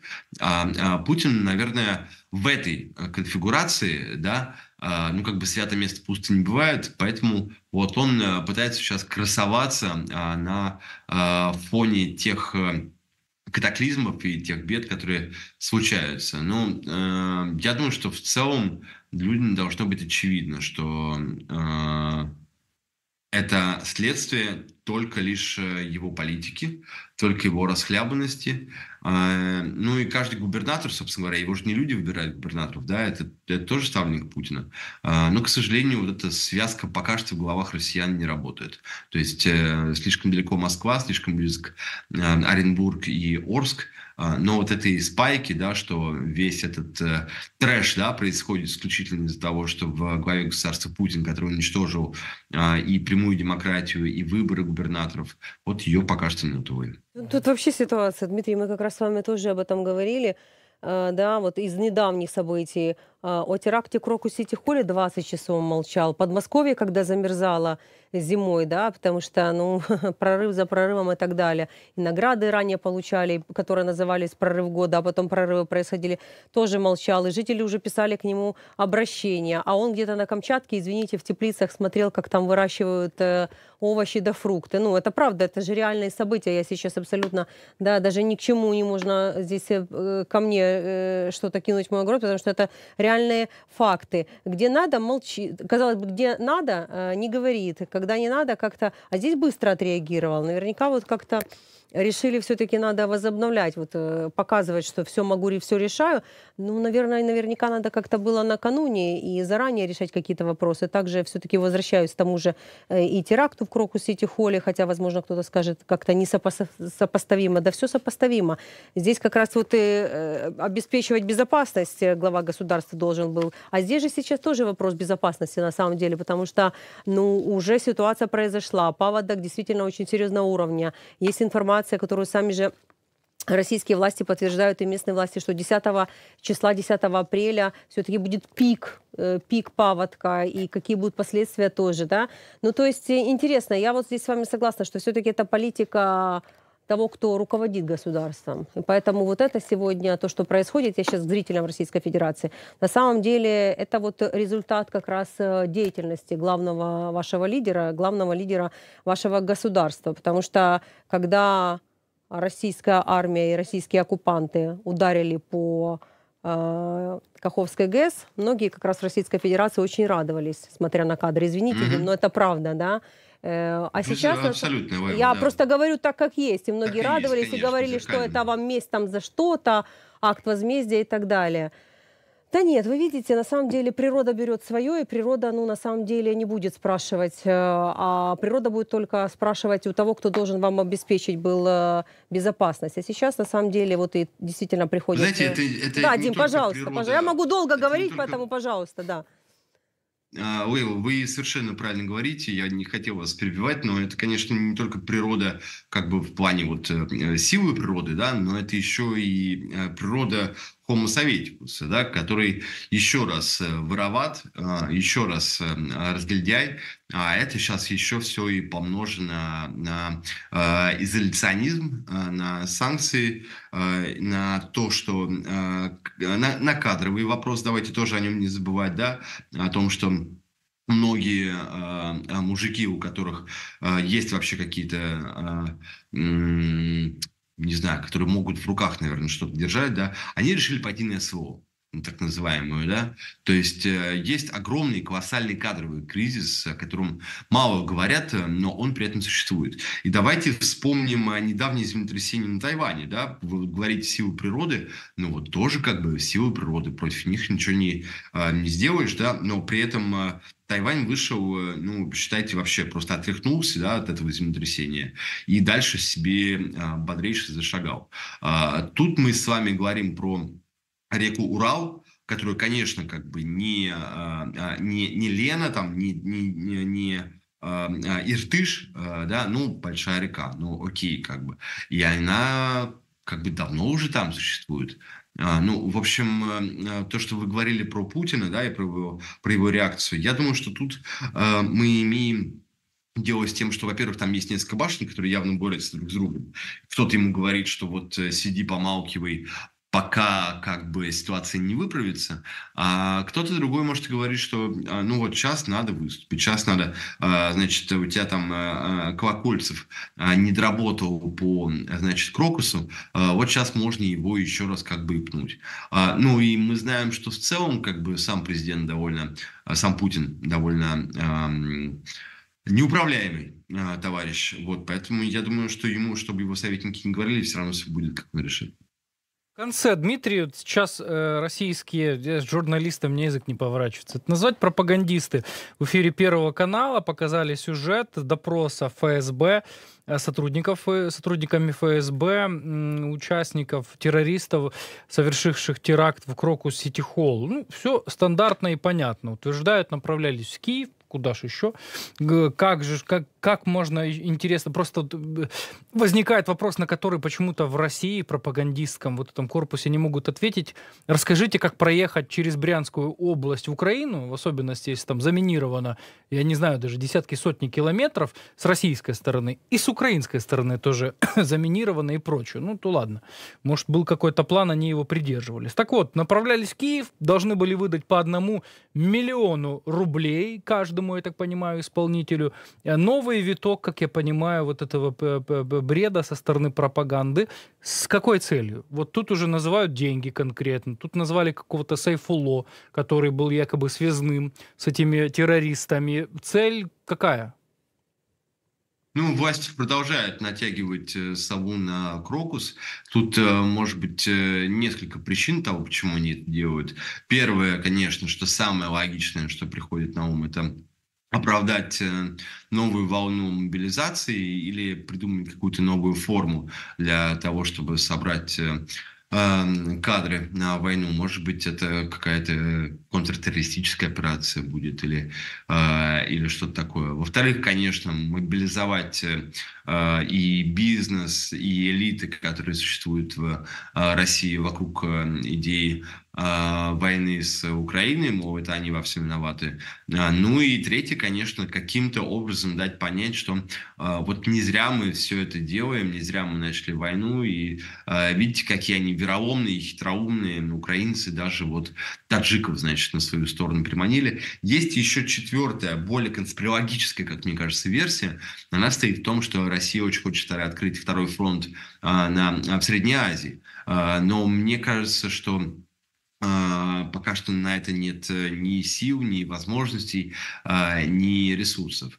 А, контраргумент, который у меня есть, да, против украинской версии, мне кажется, что если бы я, вот представим себе, да, был бы там э, диктатором, авторитарным лидером, ну, я бы, наверное, конечно, боялся бы перевешивать а, таким образом вину на теракт на, а, на сторону Украины, против которой я уже два года в состоянии войны нахожусь. Ну, потому что это говорит обо мне как о, о полном идиоте, который не может э, ничего поделать. Э, и два года вот я как бы воюю с людьми, а, а они все равно меня бьют и бьют в самое сердце, в самом элитном, собственно говоря, районе э, Подмосковья, в Крокусе, который, по идее, должен быть, да, супер классно защищен. Я бы вот кого угодно обвинял бы в этом, кроме украинцев, потому что по-хорошему у меня с украинцами, наверное, все должно быть э, чики-пики. А, но вот мне кажется, в этом есть какой-то просчет. Не знаю, многие ли обращают на это внимание, э, но э, натягивать, да, вот э, как как пишет тоже, а, как написал политолог Владимир Пастухов, пришивать а, тюбетейку к шароварам у Кремля получается очень хорошо, но в целом ничего удивительного, потому что используют они при этом пытки, насилие, давление, оружие и унижение человеческого достоинства могут ни к чего, кроме врать непосредственно. Это видно. Они могут своих граждан защитить от теракта, от исламского государства. Как сказал Миниханов, глава Татарстана, 2 апреля, по-моему, очнитесь, ребята, вас никто, нас никто не защитит. После удара беспилотника по Алабуге, ну, тут, мне кажется, более красноречиво невозможно описать власть Российской Федерации, России. Спасибо вам огромное, Дмитрий. Рада вам всегда в эфире Freedom. Дмитрий Иловский, напомню, был с нами на связи, политический комментатор, ведущий канала Ходорковский Лайв. Далее короткая пауза, после нее вернемся в эфир Freedom.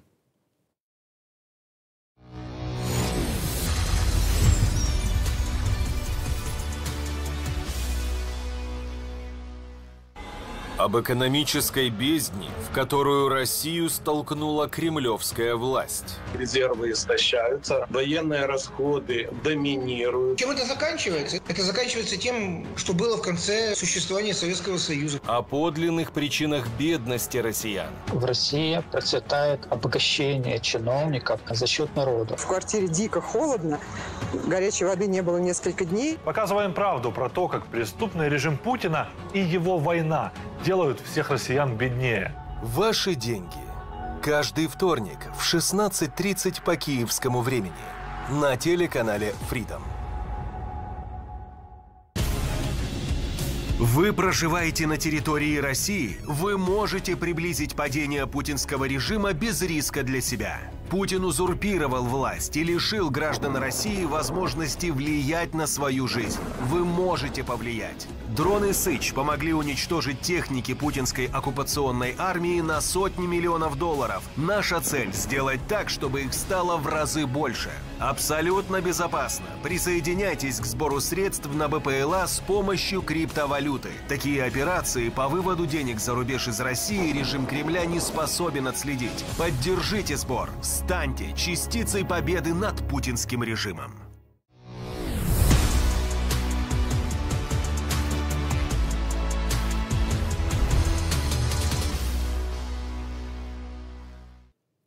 Дорогие друзья, мы продолжаем. И еще одну тему сегодня предлагаем для обсуждения. В частности, поговорим о том, почему же лидер Кремля так э, любит э, общаться с террористами, террористическими организациями. Хизбалла помогает России обходить западные санкции. В обмен боевики получают от Москвы финансовую помощь и вооружение. Об этом пишет издание «Инсайдер». Российская Федерация устанавливает все более тесные отношения с Хизбаллой, Хамас, Талибаном и йеменскими хуситами. Что их объединяет, расскажет Кристина Домбровская. Россия с начала своего военного присутствия в Сирии сотрудничала с боевиками Хизбаллы, пишет издание The Insider. Российские офицеры и представители группировки координировали действия и готовили совместные военные операции. Альянс Москвы с Хизбаллой вскоре вышел за рамки чисто военного партнерства. Например, в 2018 году США раскрыли схему контрабанды иранской нефти в Сирию в нарушение санкций. В ней были задействованы российская государственная компания «Роспромимпорт» и «Хезбалла». Еще один союзник и партнер Москвы – йеменская группировка «Ансар Алла», больше известная как «Хуситы». Судя по заявлениям российских пропагандистов, они одни из главных союзников России в борьбе за якобы многополярный мир. Похищение людей, депортации, пытки, расправы над безоружными – все это характерный почерк Ансарала и происходит в ходе полномасштабного российского вторжения в Украину. Россия традиционно блокирует в Совбезе ООН резолюции, направленные на введение санкций против хуситов, и даже пыталась оспорить включение группировки в американский список террористических организаций из публикации издания The Insider. В знак благодарности хуситы пообещали не трогать российские суда, следующие через Красное море. Несмотря на развязанную ими войну против торговых флотов едва ли не всего мира. Что касается Хамас, то Российская Федерация не признавала и не признает это движение террористическим, в отличие от множества других государств. После того, как боевики Хамас напали на Израиль 7 октября 2023 года, Москва только сблизилась с этой группировкой группировкой. По информации американских журналистов, Россия оказывала ей материальную поддержку. Так, накануне теракта в Израиле Хамас получил миллионы долларов через московскую криптовалютную биржу. Также, по информации CNN, представители группировки утверждали, что с разрешения Москвы в Газе было налажено производство автоматов Калашникова и патронов к ним. Российская Федерация, а, которая заявляла Э, одной из своих целей борьба с международным терроризмом. И как раз на этой волне а, даже было определенное потепление отношений с Соединенными Штатами Америки в начале 21 столетия. Но фактически, как мы видим, а, Российская Федерация сама взращивает разные террористические организации, помогает э, их становлению, ну и фактически сама превратилась в государство террориста, мировой центр террористической активности, тем самым э, усиливая незаконное действие в мировом масштабе. В России уже приезжали делегации Хамас, Хизбаллы, Ирана и Талибана. Эту организацию большинство стран в мире признают террористической. В Российской Федерации Талибан тоже признали террористической организацией еще в 2003 году. После того, как Талибан захватил власть в Афганистане, представители движения приехали в Москву на переговоры с министром иностранных дел России Лавровым. По итогам глава российского МИДа заявил, это, цитирую, адекватные люди. Скоро талибы опять приедут в Федерацию. Министерство иностранных дел пригласило их на форум «Россия. Исламский мир» в Казань в мае 2024 -го. Российские СМИ пишут, Москва работает над тем, чтобы исключить движение «Талибан» из списка запрещенных террористических организаций. Кристина Домбровская для телеканала «Фридом». Геннадий Гудков, российский оппозиционный политик, с нами на связи. Геннадий Владимирович, приветствуем вас. Да, добрый вечер. Давайте, во всяком случае, такой, таковой, таковой, таковой добрый вечер пожелаем всем э, нас видящим и слышащим. Да, ну сложно действительно находить какие-то интерпретации приветствия, в особенности, да, последние несколько лет. Ну, спасибо вам. А, Геннадий Владимирович, вы знаете, сделаю вид, что не очень понимаю, но все-таки хочу спросить, а что же объединяет Путина, Хамас, Хезбалу, хуситов и так далее. Как что? Тут все понятно. Угу. Которые, собственно говоря, и создали все эти называемые структуры Хезбалу, Хамас, Талибан и так далее. Все эти структуры созданы э, государственной властью, э, государств изгоев, тиранов, государств пособников террористов и так далее и тому подобное. Кто такие хуситы? Хуситы – это структура, созданная, вооруженная, содержащаяся Ираном. Кто такой Хамас? Помимо там помощи от реакционных арабских режимов, она находится на прямом содержании Ирана. Кто такой там э, Талибан? Талибан создавался как э, структура, э, тоже и Пакистан там приложил руку и так далее, для борьбы с американцами, с борьбы с демократиями. И мы видим, что сейчас эта структура действует террористическими методами, военными методами, методами казни, расправ и так далее и тому подобное. Поэтому все это создается государствами, где власть узурпирована, где власть э, несменяема, где власть используется для угнетения народов. Ну и понятно, что с целью ограбления этих народов. Потому что сегодня я прочитал прекрасную новость. Э, дочь, по-моему, дочь, она все-таки Ясер Арафат, как утверждает СМИ, живет в Лондоне, и ей принадлежит капитал 8 миллиардов долларов. Там какая-то улица чуть ли не скуплена ею. И я так подумал, мне кажется, э, очень прибыльный бизнес заниматься террором. Очень прибыльный. Поэтому вот этим, собственно говоря, и занимаются эти структуры, находящиеся на содержании государств. Ну а реакционное государство решает задачу, как я сказал, сохранения узурпированной власти и противодействия всем тем, кто этому мешает эм, недоговороспособность, э, ну, ситуация, которая есть между Кремлем и ИГИЛом. Ведь дружбы у них по большому счету не получилось. Да, в особенности с, с Вилаят Харасан. Харасан. Вилаят Харасан, напомню, это регион в целом так называется. Географическое вообще название. А мог, я так правильно ли понимаю, что в целом Кремль мог бы и исламскому государству что-то предложить, несмотря на, несмотря на да, да, давнюю такую, да, давний спор, что ли, давнее убийство э, представителей представителей исламского государства, террористов, естественно. Но из-за этого дружба ж не могла испортиться, я так понимаю, если она Нет, нет, дружба, она не из-за этого не сложилась. Угу. Она не сложилась из-за Сирии. Угу. Потому что э, Путин поддерживает сирийского диктатора. И благодаря, собственно говоря, Путину он пока еще и жив, здоров и сохранил какую-то часть власти в Сирии. Это, конечно, не помешало Сирии пережить и переживать гражданскую войну с огромным количеством жертв не, не, не, помешало Сирии, по сути дела, расколоться на, на какие-то фрагменты на территории, которые там непонятно кем и как контролируются.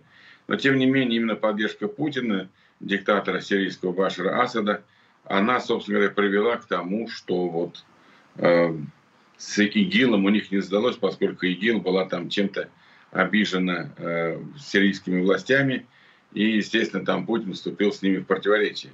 Непримиримый, там, в том числе бомбя те территории, те пункты, те э, анклавы, где находились как раз боевики ИГИЛа. Потом уже, когда эта дружба не сдалась совсем окончательно, Россия начала преследовать все, что там был, имело отношение к ИГИЛу. Попали под раздачу, я просто напоминаю, кто не помнит эту историю, э, жены так называемых ИГИЛовцев в России, те, кто уезжал туда воевать, ну и там к ним ехали их жены – и их э, за намерение еще, так сказать, не пересекали границы, уже их там сажали, травили, душили, э, объявляли врагами народа и так далее. То есть э, дружба не сдалась давно, причины, так сказать, уходят корнями в нашу современную историю, но это не означает, что не может быть сейчас потепление какого-то там движения вспять. Пожалуй, это единственная крупная организация террористическая – которая не имеет прямых контактов с путинским режимом. Вот, э, как говорится, это, это исключение из правил.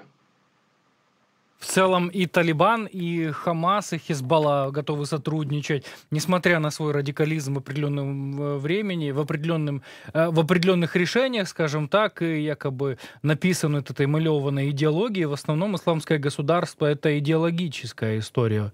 И, и это идеологически да, подготовленные бойцы. И на там... самом деле никакой там идеологии нет. Вся эта идеология – это ширма. Ширма, как я сказал, для удержания захваченной узурпированной власти. Ширма для освоения денег, э, для роскошной жизни э, руководителей террористических организаций. Как мы знаем теперь вот из сегодняшней новости, что дочь э, Ясера Арафата миллиардерша. Вот, и так я думаю, что там прекрасно все живут руководители, потому что они получают прекрасные деньги за свою грязную кровавую работу. Но вокруг Путина объединяются не только признанные террористические организации, но и все людоедские режимы. Иран, Северная Корея, ряд арабских, ряд арабских диктатур, ряд африканских диктатур и так далее и тому подобное. То есть Путин сегодня является э, координатором э, так сказать, вообще вот э, всей системы тирании. Всей системы тирании и всего того, что они создают для борьбы с цивилизованным миром. Так что вот э, Москва стала таким э, гнездом, что ли, мирового терроризма, в прямом смысле этого слова. Геннадий Владимирович, мы сегодня обсуждали тему выступления, заявления Йенса Столтенберга, генсека НАТО, в контексте объ... Э, появления, объединения оси зла с Россией, Китаем, КНДР и Ираном. Э, и как, собственно, Североатлантический альянс, в целом цивилизованный мир, демократический, может противостоять э, этой оси. Но если КНДР, Иран, какие бы ни были, ну это государства, но, к примеру, Хизбалла, исламское государство, Хамас, Талибан, это все же организации, организаций террористического толка. И с ними централизованно бороться довольно тяжело. Скажем так, якобы уничтожена Аль-Каида, она разрослась нет, нет, метастазами. Нет, нет, нет, нет. Мне кажется, что это вот э, упрощенное понимание, вернее, упрощенное допу это допущение, которое э, усложняет понимание задачи. Нет никаких... Ну, Талибан сейчас, вы знаете, стал государственной властью. И э, вот одни из многих мер, кровавых и жестоких, которые они намерены реализовать и уже реализуют. Это последний шедевр, это побитие женщин, э, уби, убийство женщин с помощью публичной казни камнями за различные, так сказать, прегрешения. То есть это э, кровавая людоедская власть из глубокого феодального прошлого с отмороженными мозгами и, видимо, с жаждой обогащения в современных условиях. То есть это такая довольно отвратительная масса, Э, которая, в общем-то, э, сейчас подкармливается рядом других соседних государств. Ну, там роль Пакистана мы прекрасно знаем э, в противодействии американцам на территории Афганистана. Вот, поэтому нет, тут не совсем так. Надо бороться не с признаками болезни, а с ее причиной. А причина это несменяемые диктатуры, несменяемая власть диктатуры, тирании в, в Азии, в Африке и так далее. И вот тут мы и борьбы не видим, потому что нужен пересмотр э, мирового порядка. Надо признать все страны, где власть не меняется, не меняется. Надо признать их опасными для всего мира, потому что вот вчера Китай был там, э, Дэн Сяопиновский, э, там что-то как-то, какие-то признаки сменяемости власти хотя бы внутри одной партии, там были реформы, там была конституция, ограничивающая пребывание руководителя страны не более двух сроков – не более двух сроков и так далее. И вроде казалось, Китай пошел по цивилизованному пути. Что сделали мировое сообщество? Они туда бросили триллионы долларов. Бизнес, как говорится, превыше всего. Деньги превыше всего. Создали там мощнейшую технико-технологическую базу, науку. Вооружили Китай знаниями, технологиями. Э, китайцы талантливый народ. Они все это выучили они все это развили, усовершенствовали. И теперь Китай, чудовищный гигант, с прекрасным технологическими, техническими, так сказать, возможностями, с ядерным потенциалом, с огромным э, населением, сопоставимым со всем населением мирового шара. И вот теперь э, наши, так сказать, товарищи, которые э, говорили, давай, давай, давай, инвестируй в Китай, теперь говорят, а что же теперь нам делать с этим? Ребята, вообще неплохо сначала думать, а потом делать. А у нас получается как-то наоборот. Сначала делают, совершают чудовищные ошибки, а потом говорят, а что же нам теперь с этим делать? Вот мне кажется, что должно быть более жесткое государственное регулирование, э, извиняюсь за выражение, инвестиций своей страны. Куда вы инвестируете, кого вы поддержите, кого вы развиваете, что вы хотите в итоге получить. Потому что процесс сейчас этот продолжается. И нельзя руководствоваться чисто прагматическими э, представлениями о том, что если там норма прибыли 15 или 20 процентов, туда нужно э, бросать все бабки. Надо смотреть о глобальных последствиях, потому что если начнется что-то серьезное, заваруха с Китаем, там триллионов никаких не хватит. Там еще погибнет неизвестно сколько, что чего, не дай бог, если что-то разразится. Вот это цена э наживы. Вот цена жадности предпринимательской. Услышали вас. Да. да, услышали, услышали ваше мнение. Геннадий Владимирович, спасибо вам за участие в эфире Freedom. Спасибо за ваше мнение. Геннадий Гудков на связи с нами был российский оппозиционный политик. Ну и далее в нашем эфире о так называемых хлопках в Белгороде и о сказке под названием «Русские своих не бросают». Подробности в программе Олега Борисова. Давайте проверим.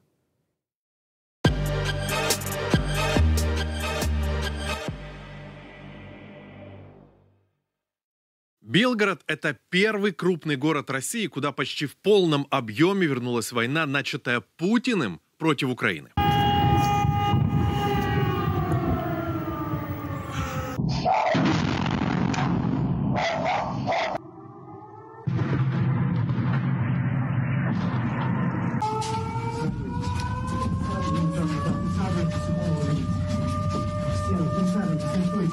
Это первый большой российский город, жители которого на собственной шкуре ощутили, каково это, когда русские своих не бросают. Вся страна спокойно живет, Белгород бомбят, Москва ликует, пир во время чумы, а мы сидим в подвале. Дорогие белгородцы, понимаете, почти всем в России на вас просто начхать. А вот насколько, расскажу вам я, Олег Борисов, в новом выпуске программы «Давайте проверим». Поехали. Игнорировать проблемы Белгородской области стали ровно в тот момент, когда, собственно, эти проблемы появились. Помните такой город, как Шебекино? Шебекино. Шемякино. Шебякино. Шемякино. Шмекино. Шмекино, да. Так вот, когда там началась суета, жители стали массово писать федеральным СМИ с требованием обратить внимание на происходящее. И те, конечно, обратили просто поставив блок на комментарии с упоминанием названия города во всех его вариациях, от Шемякина до Шербекина.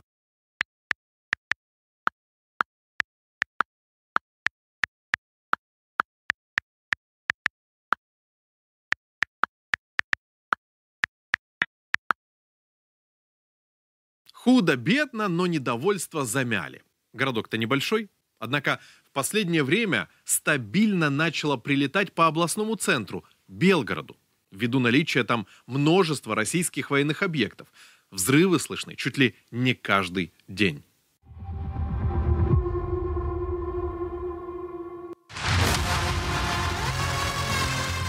И вот условный белгородский Ванька, который всю ночь содрогался от хлопков, а утром вставлял новые окна, включает телек, дабы услышать, что же любимые пропагандисты расскажут о его страданиях. А там... В зимнем саду Белгородского госуниверситета зацвели субтропические и тропические растения. Увидев это безобразие, Ванька строчит гневные комментарии о том, что думает о зажравшихся кремлевских прихвостнях. Почему федеральное правительство нас не слышит, не видит? Мы достойны защиты по Конституции РФ. Мы ж Белгород. Это Россия, верно? Почему нигде не освещают ситуацию в городе? Нигде. Вся страна спокойно живет. Белгород бомбят. На Белгород, наверное, забили и празднуют окончание выборов и возвращение Крыма. Скажите, уже три дня прошло, и я до сих пор включаю телевизор, и они до сих пор мне по телевизору просите хол, просите хол. Да идите вон со своим сетихолом. А давайте поговорим с вами про Белгород. Давайте будем говорить с вами с утра до вечера про Белгород, который бомбят каждый день, просто каждый день. И каждый день там умирают люди. Не, про Белгород мы с вами говорить не будем. Это в порядке вещей. Ну их бомбят, и пусть они подыхают. Они же не москвичи. Массовые требования белгородцев обратить внимание на ситуацию в городе кажутся чинушами из Москвы, ну, сильно назойливыми. Официальные паблики на этот раз просто закрывают свои комментарии. Удаляют комментарии. Забанили в группе за то, что написал в комментариях «Белгород не простит». Превзошел всех Соловьев. Жалобы белгородцев на незащищенность он и вовсе назвал мерзкой истерикой.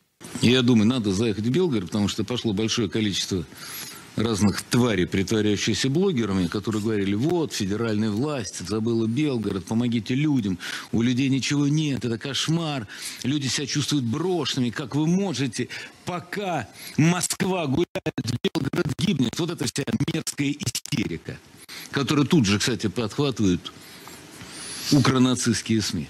А если вы что-то не знаете, просто заткнитесь. Только вот в комментарии под этот выпуск Соловьеву пришли отнюдь не украинцы, а простые жители Белгородской области. Высказать ему пару ласковых. Посмотрела рассуждение о Белгороде и возник вопрос, не хочет ли ваш Соловьев пожить в Белгороде, рассчитает, что у нас тут все нормально, и жалобы местных – это мерзкая истерия. Родню привезет пусть. Приехал к нам в Белгород в бронежилете и каске на полчаса и свалил, а нас называют тварями истеричными. Вот истинное лицо человека. Всегда считала Соловьева умным человеком. После его слов про наш Белгород считаю, что он просто позорник.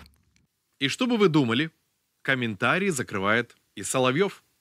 Как известно, идеальный белгородец – молчащий белгородец. Только такая наглая подача от топового пропагандиста возымела обратный эффект.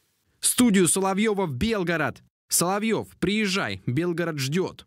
А не хотите привести свою студию в Белгород? Жить в Белгороде, может быть, вам очень понравится, если обломок упадет прямо на вас.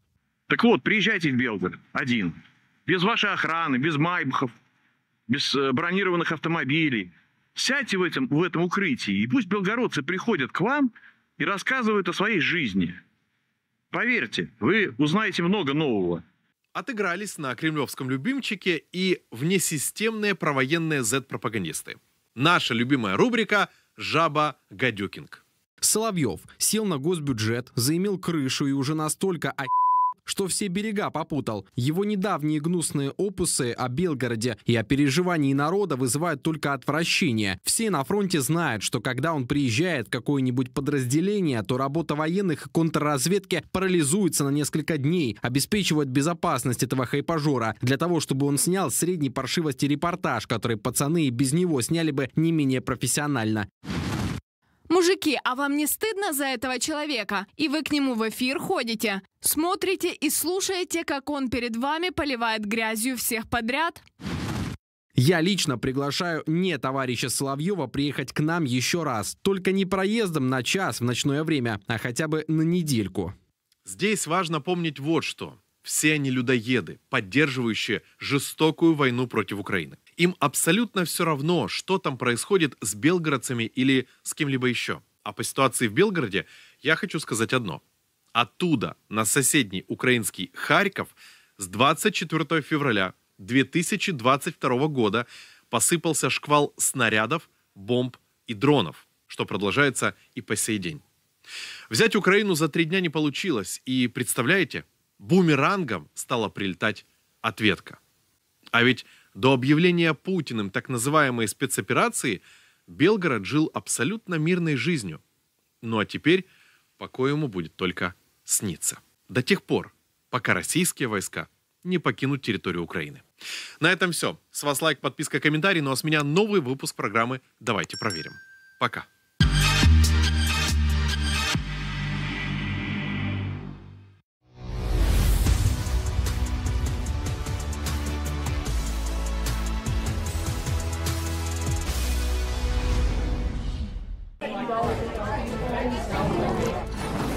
Всегда называем вещи своими именами. Не отрицательное наступление, а бегство. Не самолет перешел на сверхзвук, а взрывы.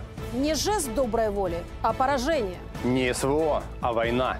Всегда говорим так, как есть на самом деле. Нам виднее, ведь именно мы находимся в эпицентре событий. Итоговый выпуск дня. Пришло наше время. Ежедневно в 21.00 по киевскому времени на телеканале Freedom.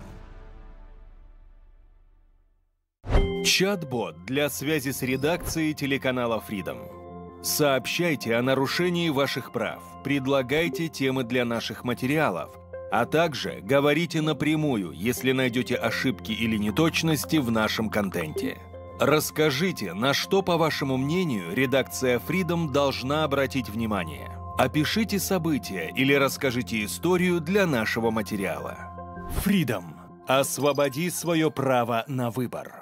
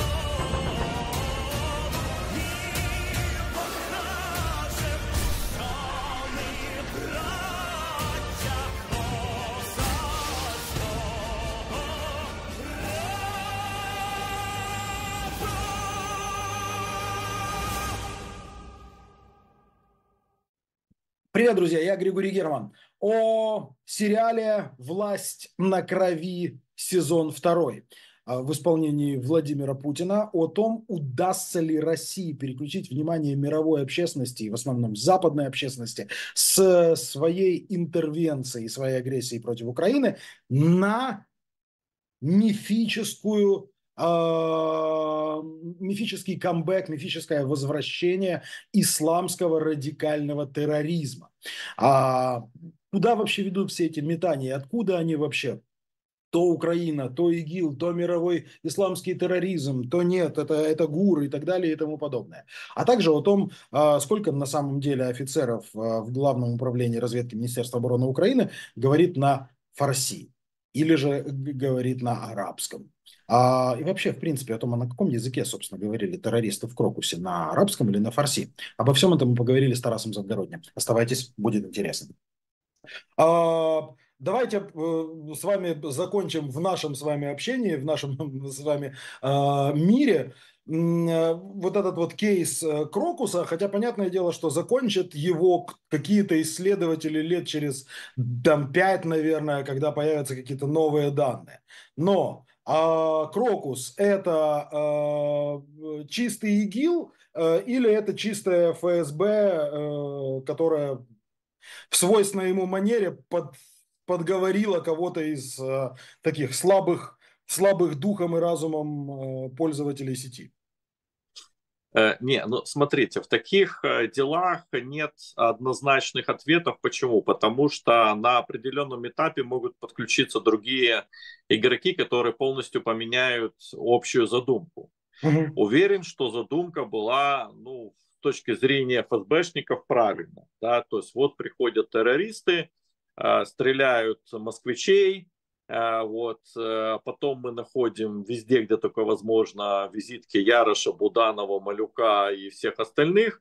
А предоставляем это как способ мобилизации э, населения на большую священную войну. В принципе, то, что, то, что Путин делал 25 лет назад, когда мобилизовал на выборы.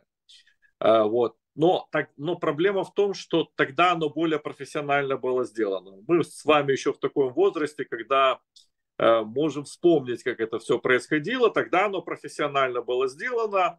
Э, то есть э, были опубликованы видео, как там режут пальцы этим русским солдатам, якобы чеченцы. Хотя у меня после того, что происходит, подозрение, кто кому еще там резал пальцы, еще э, под вопросом. А, еще там контекст же был. Путин же шел к власти как человек, который гарантирует безопасность, да, потому да. что контекст, это, как они говорят, лихие 90-е, бардак в стране, то, что они э, говорят, там, э, война в Чечне, проигранная война, кстати, тоже важный момент, проигранная война, нужно, нужен реванш и так далее, тогда оно все логично было и все понятно и более контролируемо.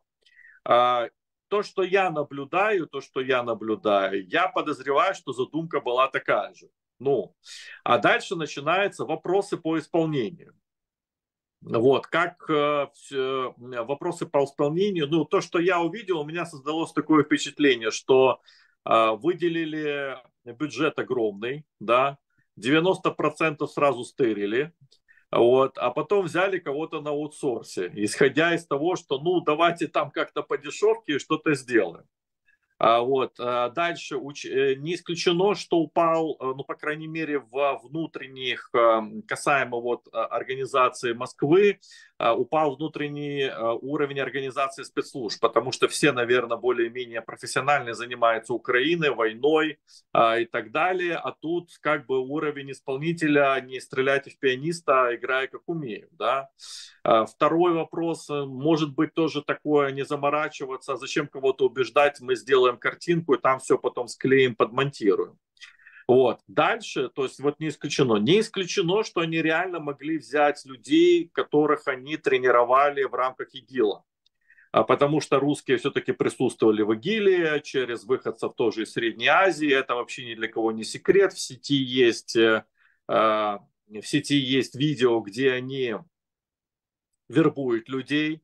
Это тоже как бы трансформация спецслужб. Вместо того, чтобы бороться со специальной, э, бороться с а, терроризмом, они сами придумывают терроризм, потом, ну как это у них называется, операция кабанчик, да, вы вырасти кабанчика, потом его зарежь. Вот, э, вот это вот все вместе э, скомпоновалось. А, ну и потом пошли вот эти нестыковки. Да, тут машины, люди, тут ИГИЛ появился, настоящий ИГИЛ. Да, да. А, я не исключаю, что это игра британцев, э, которая очень много ломает, потому что США в нынешнем состоянии я не вижу пока, как способны они играть на такую игру. Но, ну, возможно, тут, есть... Тарас, тут важный момент, и я хочу, чтобы вы мне уточнили. А, игра британцев Насколько я понимаю, вы имеете в виду не сам теракт игра британцев, а то, что началось уже после него. Да, да, видео, видео, конечно. Да, появление, да. Ну, не, как то, что делалось, то, что э, реализация теракта, это ФСБ. Даже можно не сомневаться без каких-либо. А дальше это вопрос интерпретации факта. А, который это вот вступил тут в ИГИЛ, да, а тут реально тут таджики, тут этот, а, тут все появилось, оно все склеивается. И смотрите, то, что точно пошло не так, это видно, сколько времени Путин а, взял на выступление. 20 часов прошло. Если бы все было подготовлено, все было на мази, все было хорошо, это бы уже в течение суток объявили, расследовали и так далее они запутались, они не знали, что выбирать, поскольку реально, э, залез реальный ИГИЛ. А вот, и, а, и это поставило очень сложную растяжку, поскольку это мусульманский фактор, да, э, вот, который дальше и выстрелил. Дальше что пошло? Дальше пошел, э, ну вот, эксцесс исполнителя, когда они начали отрезать там уши и все остальное. То есть э, это уже, ну, очевидно, что эти люди после таких пыток признаются во всем, чем угодно, да. ИГИЛ, снова выскочил ИГИЛ, заявил, что вот это все-таки мы, внутренняя была съемка, то есть вот да, эта последовательность, да. что опять же поставила а, в непонятное положение уже самого Путина, Путин был вынужден второй раз выступать, обратите внимание, второй раз уже выступать для того, чтобы подтвердить, что было в первом разе, да, для того, что там Украина и так далее, тут США вступили, которые заявили о том, что не имеет никакого отношения и так далее, и так далее. То есть очень все было смазано. И тут еще, опять же, под тема, которая возникла для россиян, это вопрос, э, ну, началась традиционная ненависть к мусульманам, вот, что вызвало реакцию уже Кадырова, который сказал, не надо тут вот э, всех да, под да, одну да. гребенку, потому что тут же интересный фактор, что вот что объединяет все спецслужбы России, несмотря на их внутреннюю войну, это в том, что Кадыров должен был умереть еще вчера. Да. Вот, потому что они считают, считают, что в данном случае э, он украл у них победу как раз во Второй Чеченской войне. Это креатура Путина, он там мешает всем, да, а, и так далее, и так далее. Ну, пока Путин живой, и он там есть. И то есть заварилось совершенно, то есть фактически россияне этим терактом не мобилизовали против Украины, потому что, ну, там как-то ты там уже натянуть вообще невозможно. Оно не клеится вообще, да. Да, да, да. И открыли, по сути, против себя второй фронт, уже связанный с ИГИЛом, связанный с мусульманством, унижением мусульман. Но что такое, когда ты человека э, там э, под гениталии ему присоединяешь это вот телефон, это ж, ну, это, это унижение, это просто, и это еще показываешь, да. ты это еще не скрываешь, вот, это, я думаю, что это аукнется, точно аукнется все это, потому что когда империя начнет слабеть, это все равно появляются пассионарные силы, которые вспомнят все в данном случае. И тут очень важный еще контекст, который не связ, э, э, который исторический контекст произведения этого э, теракта. В 25 лет назад Путин же продавал себя как человека, который обеспечивает безопасность, да, то есть в обмен на права свободы пайку, хорошую зарплату, ну, по российским меркам, мы обеспечиваем безопасность. А сейчас вопросы пайку забрали, и свобод нет, и безопасности нет. Потому mm-hmm. что ж был вопрос, а где были там полиция, а где все остальное. То есть как бы тут больше выстрел в ногу в данном случае, а, потому что э, нет. Ну и плюс они еще вот это э, добавляют э, истерики по поводу украинских спецслужб. Это очень хорошо. Очень да, хорошо. Кстати, да, да, это да. почему? Чем больше будет паранойи, тем лучше. А это уже вот тактика Масада. Знаете, как Масад делает? Э, публично грохнули 100, 10 да. тысяч страшно, да? да а да. что такое страх? Это когда начинается появляться паранойя, разваливаются горизонтальные связи, друг другу не, не, э, не доверяют. И тут достаточно точечными акциями подтверждать, что ты тут, и они везде это будут. Ну вот как СБУшники грохнули Фи, э, Киеву в элитном да, поселке. Да, да, да. А, а это ж как бы знак не только нашим коллаборантам, и российским элитам, проникли туда, где вы считали, что безопасно. Да. Вот, э, этот, вот, э, это, это тоже как бы, то есть больше, ну, больше в Украину сыграли, чем хотели мобилизовать, потому что с точки зрения мобилизации никак не, не этого, это не, не сработало, как было, так и осталось. Все эти натяжки о том, что там были украинцы, и все, ну, это вчера было заседание, там Патрушев, Бортников и все остальное. Единственное, что можно сказать, что, скорее всего, это теракт и его последствия активно разыграли с группой ястребов Патрушева ФСБ, которая усилила свое влияние в России. А, это имеет будет следующее, то есть это, это война, все это, то есть уже без каких-либо сантиментов, то есть mm. дальше, которая будет иметь следующую э, составляющую проведение национализации активов, которые были да. Э, приватизированы в 90-х. А это очень хорошо для Украины. Почему? Потому что э, это хорошие предпосылки для хорошей гражданской войны. Они запускают два процесса, которые очень позитивны для Украины, связанные с тем, что Скорее всего, будет национализация, это напряжение уже в элитах, перераспределение в элитах. Дальше второй фронт, уже с ИГИЛом, мусульманский фактор и все остальное. А, украинские беспилотники, которые продолжают пролетать по нефтянке и всего остального. То есть, э, ну, очень два, ну, три очень мощных вызова, а, которые угрожают устойчивости все-таки режима. Вот. И, в принципе, я за результатами терактов считаю, что очень хорошо, очень хорошо, хорошо сработали. То есть, думали одно, подключились другие игроки, получилось по-другому. Да, они пытались это как-то разыграть. А, вот, давайте сочувствуем россиянам, давайте боремся с терроризмом и все остальное. Но проблема в том, что этот террорист, а не проблема, опять же, Запада. Вот для Запада был проблема терроризма, это когда вот этот ИГИЛ разрастался там на территории Ирака, Сирии и все остальное. Но они же уже раздолбали их, там город, там Масул и все остальное. Этот. А у тебя ваши внутренние дела, это рычаг давления на тебя, это твоя уязвимость, которую можно играть, и дополнительный шаг. Ну, террористы, ну так боритесь сами, решайте вопросы. Но, конечно же, они, русские попытаются это выкрутить свою это, но мы не, не должны дать выкрутить это, чтобы этим не воспользовались, потому что вот такая русофильская группа у Байдена, она есть, она пытается это разыграть. Я уверен, что вот эти вот пожелания «не бейте по территории России по порту Новороссийска» это эта группа. Я не сомневаюсь, что ну, все-таки с большей долей вариант. Это значит, Украина должна взять тактику Израиля, открыть э, открыть то, что говорил Маше Даян, американцы пусть дают деньги, финансы, свои советы оставьте при себе. Да?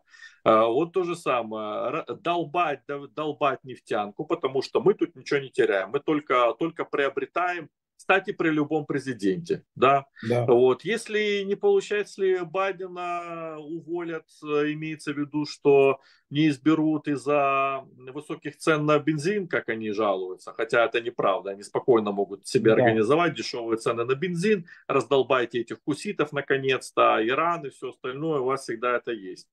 А вот, э, то Украина ничего не теряет, мы как раз входим в позитивный трек э, с Трампом. А если Украина раздолбает нефтянку, а, еще газовые э, эти месторождения, так а, а чем снизит потенциал России военный? Так а что Россия будет предлагать Трампу? Трамп да. спросит, ну а, а что вы мне предлагаете? А, пустить вашу нефтянку на, этот, на рынок мировой? А зачем это мне нужно? У меня да. своих там, он в Техасе, ребят голодных, э, стоит толпа. Второй вопрос, военный потенциал какой? У вас хаос в экономике, вы зависимы от Китая. Путину нечем будет торговать. Вот что он будет расторгован? То есть Украина докажет, что инвестировать деньги нужно в нас, да? Потому что, ну, раздолбали всю нефтянку. Вот это вот работает. Мир построен только так. Не надо думать, что это по-другому. И, и, и давать все-таки группам, Э, в США. Я уверен, что они видят этот маразм, который творит эта, эта группа Селливана Бернса. А, ну, выйти и усилить давление на администрацию Байдена, дать mm-hmm. возможность им это все реализовывать. И тогда, тогда все будет хорошо. То есть надо, как бы, опять же, свое вооружение, то есть без, без этого. Это, это, знаете, мы часто с вами обсуждали вопрос собственного вооружения. Это я как-то тоже, знаете, этот вопрос поднял еще где-то год или полтора назад, задал такой риторический вопрос, а что будет, если американцы не будут нам давать оружие? Знаете, тогда какое-то такое было у нас впечатление, что оно будет всегда. Ну вот не да. дают оружие. Ну нагло, вот уже сейчас не дают оружие. У Байдена есть 4 миллиарда, которые он может отдать. Вот эта группа Салливана Бернса начинает Украина играть кошки-мышки. Что самое циничное, начинает э, вот это подвязывать подачу оружия законом про мобилизацию. А причем какая тут связь?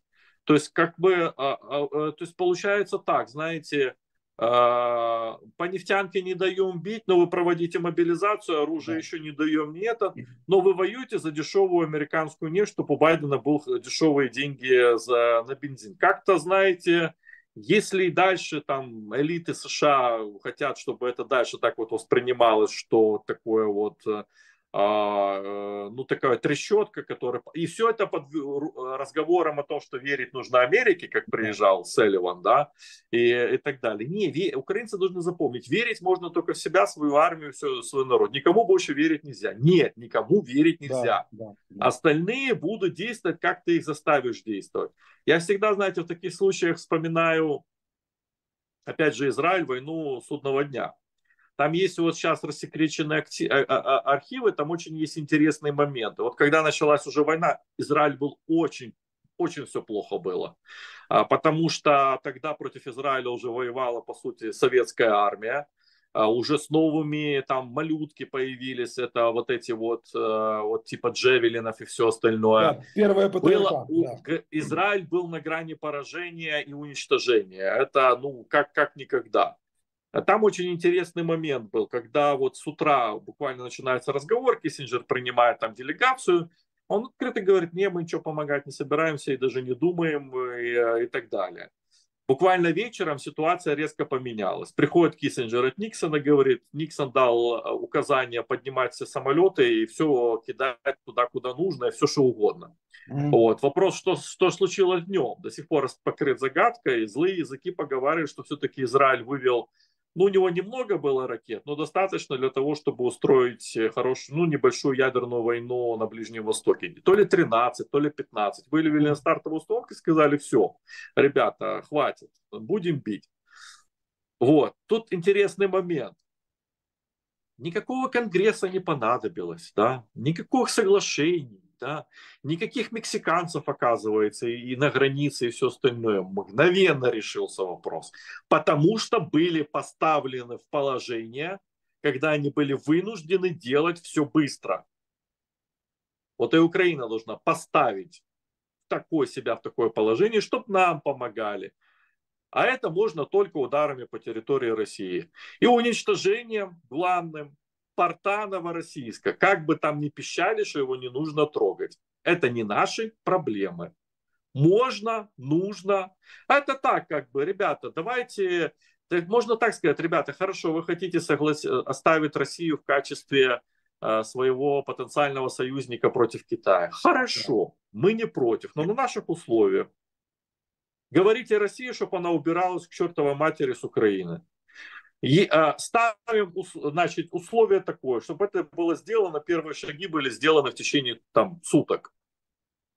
Подтверждение наших слов через 12 часов раздолбать первый терминал, либо нефтепровод, который ведет к Новороссийску. Тут мы вообще как бы скажем, что мы послушали все э, пожелания. Вы же сказали, порты Новороссийска не трогать. Ну. Мы только за. Но нефтепроводы, которые идут там, или компрессоры, которые, это ж вы не говорили? Не говорили. Значит, они должны быть уничтожены. Вот так, вот так вот, знаете, это, это добрым словом и пистолетом можно добиться больше, чем добрым словом. Так Израиль и действовал. И тогда беготня будет в Вашингтоне совершенно в другом направлении. Вы хотите, чтобы Байден переизбрался? Так решайте вопросы. Это его потребность, а не наша потребность. Да? Решайте вопросы. Дальше, где наше оружие? Да? Все 4 миллиарда давайте быстро сюда. Для того, чтобы еще поддержать это, следующее должно быть уничтожен нефтепровод, газопровод должен быть уничтожен. Все. А мы в этой схеме ничего не теряем. Мы срываем потенциальное наступление россиян. Ну реально, когда у тебя хаос в экономике, это как-то с наступлением не сильно что-то получается. Ну, смотрите, И да, опять- судя, судя по тому, что э, уже после того, как и Салливан сюда приезжал, уже после того, как появилась эта статья в Вашингтон-Пост, уже после этого был нанесен удар и по энергетической инфраструктуре. Так что Украина, в принципе, движется где-то в этом направлении. Да, и опять же, милитаризация это говорит о том, что почему должно быть свое оружие, чтобы мы не зависели от этой, а, знаете, разговоров, а, нам нужно дело. Свои дроны, свои ракеты, и все да. это. И долбать, долбать туда, куда ты хочешь, и в соответствии с твоими интересами. В действительности, вот мне, мне понравилось, вот как бы опять же там теракт, эта статья, а, мне понравилось, что фактически в этой статье слита была стратегическая информация. Это уязвимости, уязвимости России, которая могла так просить. То есть я, я не исключаю, что где-то русские могли там помочь с публикацией с этой статьей. Они до сих пор думают, что Вашингтон сильно контролирует Украину. Да, Мгм. ну вот позвонил, все сказал, типа, ну вот, Байден, у тебя же цены на бензин растут. Да. Вот. Ну да, хорошо, спасибо, что рассказали. Теперь понятно, что а, а это уязвимость, это уязвимость не наша, а их, которые мы должны играть. И вот как, как бы в этом контексте э, должны вот э, наращивать, наращивать, долбать, долбать, долбать. И тогда как бы я, я, я вам же говорю, я все, у нас до сих пор не понимает, как работает голова Запада. На Западе так, ты сам себе помогаешь, и тебе помогают. Ты себе не помогаешь, ну, бывает, бывает. Это же как бы твои проблемы, а не наши проблемы. Потому что Запад построен на принципах самостоятельности инфан- и, и неинфантильности. А в крутых пацанов и пацанок инвестируют деньги. Да, да, публично могут рассказать, это не надо было делать, это такой крик и так далее. Я всегда, опять же, в этих случаях вспоминаю Израиль. Там, там вообще вот Израиль вот за 70 лет прошел вот весь, весь путь, который вот э, э, европейские страны прошли за 500-600 лет, которые мы не можем осознать. Вот у них так же было, но это просто спрессовано в реальном времени. Да. Это как э, была история, опять же, Израиль 82 год, э, когда они раздолбали реактор э, в, этот, в, в Ираке. Да, да. Крик, писк стоял везде. В Америке писк стоял, потому что они использовали F-16. Сказали, ё, это ж нельзя было делать, какую-то комиссию Конгресса. Но внутреннее американское государство э, сказало, молодцы. И, в общем, Да. все на тормоза спустили, покричали. Есть еще же одна сфера, в которой Украина имеет возможности, силы и способности для такого непрямого или же прямого вмешательства, а, но через своих лиц. Тоже то, то что очень любит делать Израиль. А, Это а, Легион Свободы России, это РДК, это российская вооруженная оппозиция, а, которая стала, в отличие от российской невооруженной либеральной оппозиции, не поводом для насмешек Путина, а поводом для таких угроз Путина и злости, да, как плешивого фюрера. Вот она как-то вот так вот вызвала. И так, и да, и плюс ко всему, да, Пономарев э, Илья заявил о том, что цель российских добровольцев это поход на Москву и свержение путинского режима. Когда там ситуация пошатнется и когда ее надо будет добывать, да, играть в эндшпиле. А, окей, а действительно ли м- вы- мы, легионы при помощи Украины могут набрать такую силу, когда станут действительно а, не перспективной и не потенциальной, а реальной силой на территории России? Э, Я, ну смотрите, учитывая, опять же, э, опыт рейда Пригожина, учитывая вот этот вот бардак, который творится в спецслужбах России, вполне реальная вещь. А, Я думаю, что это может вот все-таки со временем вызвать симпатии части и армии, части российского общества, я не исключаю. Смотрите, уже сколько, три недели они там воюют, их же там выбить до сих, до сих пор не могут. То, что это, то, что нервничает Путин, это правда, если он даже перед выбором это прокомментировал. Он обычно вообще не комментирует то, что его не, не, не беспокоит. Вот. И это создает, опять же, точку напряжения очень большую. Вот, например, там была же история с Соловьевым, которая рассказывала теперь Белгороду, что вы там все трусы, mm-hmm. а что вы там на, на это, ему там все напихали, говорят, ну приедь в Белгород и все сделай. То есть сейчас уже вопрос обсуждается на территории России, да. э, вся эта вещь. А это как бы, то есть это, это реализация санитарного кордона, о котором говорил Путин, только в обратную сторону, потому что нам нужно в другой стороне, чтобы там не, не было установок и так далее. И поэтому в данном случае, конечно же, это тоже беспокоит. Это создает еще одну точку напряжения. А вот, и я уверен, что тоже ну, злые языки поговаривают, что группе Селливана Бернса это не нравится. Вот. Ну, мы тут такое, нравится, не нравится. Вот с вашего друга слушаете, вот его и цитируете там, да, в данном случае. Да. Вот, потому что нам все равно мы должны делать то, что то, что мы должны делать для защиты наших людей. Можем ли мы говорить о том, что э, легионы могут расшириться до а, того количественного и качественного состояния, которое позволит им стать реальной силой. Ну, то есть, условно говоря, мы говорили с Эйдманом, с, с Игорем, он, он, например, считает, что вполне реально для легионов, для российской вооруженной оппозиции набрать 50 тысяч э, штыков, 50 тысяч бойцов, или 100 тысяч бойцов хотя бы даже из состава, из числа той оппозиции, которая уже сейчас за границей.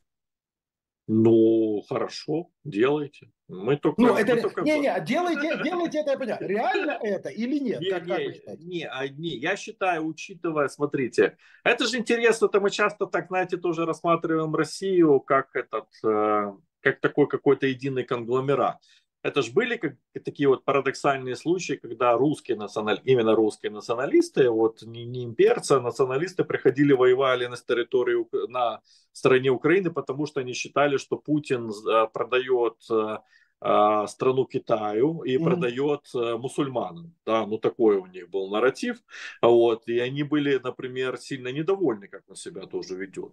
И поэтому в данном случае это очень позитивные вещи. Мы должны понимать, что каждый, кто готов это сделать, э, хорошо, потому что, как э, говорил классик, товарищ Ленин, да, ну, нам нужно превращение империалистической войны в гражданскую войну. Mm-hmm. Чем больше будет нестабильность, тем больше там будет гражданская, тем легче будет Украина. Украина должна под, туда подкидывать дровишек, да, постоянно разным способом.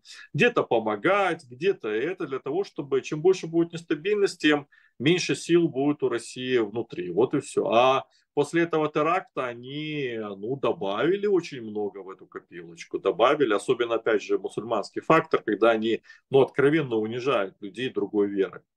А, мусульманский фактор вообще удивительная штука, да, вот, вот как, как они его, как они вступили в эту огненную реку, да, причем, ну, я вот, я, я реально не понимаю, зачем им это было нужно. Неужели они не могли найти лиц со славянской внешностью, которые бы согласились? Согласитесь, ну, я, ж, да? вам, я же сказал, да. как это может быть. Может быть да, абсолютно да, да, идиотская ситуация. Стырили деньги, исполнять да. э, заказ надо, но это как часто делается в бизнесе, знаете, да, когда да, там да. разворовали это, а потом идут, нанимают студентов. Да, да, да. Только тут, тут, только тут не студенты, а тут э, оказались какие-то люди, которые... Я, я не исключаю, что теоретически они могли пройти какую-то начальную подготовку. Я да, не исключаю. Да, да. Вот где-то были в каких-то запасниках э, ФСБ, там на 30, как это, третий сорт не брак, условно говоря. Да, ну вот да. такой вот человек, который имеет какие-то навыки, а он где-то там мог работать, я не исключаю, говорю, слушай, денег хочешь заработать, да, иди постреляй там, да, мы тебе обеспечим крышу, и все будет у тебя хорошо. Вот. А дальше все развернулось не как надо, а потом этих людей бедных начали уже этот, и не факт, что это те люди, потому что, например, а, вот видео, которое публиковал ИГИЛ, там же на арабском говорили. Да. На арабском люди. А где эти люди? Потому что тут э, все-таки э, не все знают, например, э, таджикский язык это не арабский, таджикский язык это больше перс, персидский, да. это Иран. Потому что таджики, они, ну, ближе какая-то, они же на фарси разговаривают. Да, да. То есть, э, все-таки, а учитывая, как бы, ну, все-таки персидский язык можно отличить от арабского, ну, значительно там, да, в данном случае. И тут как бы очень большая каша заваривается, которая непонятно, как Россия будет выплывать, но нужно помогать, чтобы они в нее больше затухли. Вот тут вопрос, которого мы коснулись очень вскользь, это вопрос того, как мировая общественность все-таки может реагировать. Потому что вот сейчас, вот судя по заявлениям, а, и там, не знаю, тот же Патрушев, который говорит, не-не, это Украина, да, там Бортников, который говорит, да не, ну, конечно, это Украина. Путин говорит, ну, конечно, это Украина. Но а, Тут вырисовывается достаточно любопытная ситуация, когда российский эстеблишмент устами, не знаю, того же Пескова, тех же всех остальных, переносит акцент или пытается перенести акцент с войны в Украине, это наше внутреннее дело. Ребята, у нас тут почти гражданская война, мы один народ, мы тут разберемся, потому что, смотрите, пам, ИГИЛ, опять ИГИЛ, Москва террор ИГИЛ, ИГИЛ, ИГИЛ, ИГИЛ, ИГИЛ, ИГИЛ и так далее. И по идее Европа, Европа и Соединенные Штаты могут там сказать, что, господи, все, давайте, ой, у нас тут действительно мировой терроризм. Не-не, смотрите, это, это все хорошо, это они пытаются, как, знаете, не стреляйте в пианиста, он играет так, как может. Это все красиво в теории. Но мы как бы уже в этом разговоре с вами это обсуждали. Вопрос в том, что это же не на территории нефтеносной страны, как Ирак происходит. Да? Вот там был интерес американцев. Этого не должно быть там, да, ну потому что они там находятся и так далее, да. Вот, ну там же в основном громили как раз вот в тех местах.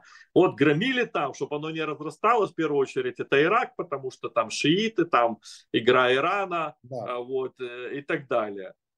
Вопрос, а, Россия тут при чем? Ну это ваши внутренние проблемы. Ну кто, что, ну чтобы как? Вот что, говорите, помогите нас в чем? Дайте нам разведывательную информацию о чем? Ну, Мы вам давали разведывательную информацию, ячейках... вы не воспользовались, да. Да, ну теоретически, да, теоретически может быть, но дальше оно не пойдет, потому что это проблема лично России в данном случае. Это вас и второе, нефть вы не даете свои, вы, вы обещаете нам отдать, например, все, или, или сейчас обещаете отдать все ресурсы нам не Нет, ну тогда о чем разговор? Все, все же предельно прагматично и цинично. И поэтому в этом, в этом случае, как бы, да, они пытаются это сделать, но оно уже тонет и не сильно как бы выскакивает. Тут вопрос в другом не могут ли они активизировать свои действия? Ну, то, что они могут, там, условно говоря, устраивать еще теракты на территории России, это легко, это вообще как два пальца об асфальт, да? Но а могут ли они устраивать подобные терроры под игиловскими знаменами, например, в Европе, для того, чтобы Европу испугать? Ну, теоретически могут, но тут опять же вопрос э, станет... Э, не, я не исключаю, что может быть. Я не исключаю, там все, все что возможно, может быть. А вот как бы, но опять же, а при чем тут Россия, да, при чем тут Россия? Не, они но смотрите, тут интересная снова дихотомия. С одной стороны, они говорят про международный терроризм ИГИЛ, потом выходит Бортников с Патрушевым, говорит, что это все-таки украинцы, да, которые да. на Ближнем Востоке, на Ближнем Востоке да. готовили эти. Ну, а, то есть это настолько сказали и даже как бы не улыбнулись, потому что ну настолько все бредово выглядит, что э, нет никакой связки. И, ну, я думаю, что у них не получится разыграть эту карту, потому что ну сложно будет им это делать. Вообще весь мир на самом деле видит эту бессмысленность, и лучше всего о бессмысленности попыток привязать к этому теракту э, Украину, говорит э, шутка, которую я увидел недавно в, украинском, в украинской сфере, это как разрабатывался в ГУРе теракт э, в Крокусе. А давайте мы, а, а давайте мы привлечем к, к, к этому теракту таджиков. Есть кто-то, кто говорит на таджикском языке? Откуда? На этом подготовка в ГУРе теракта в Крокусе закончилась, да? Ну, то да, есть, да, вот, да. так оно на самом деле и есть. Спасибо огромное и э, да, до встречи, берегите себя. Да, вы также.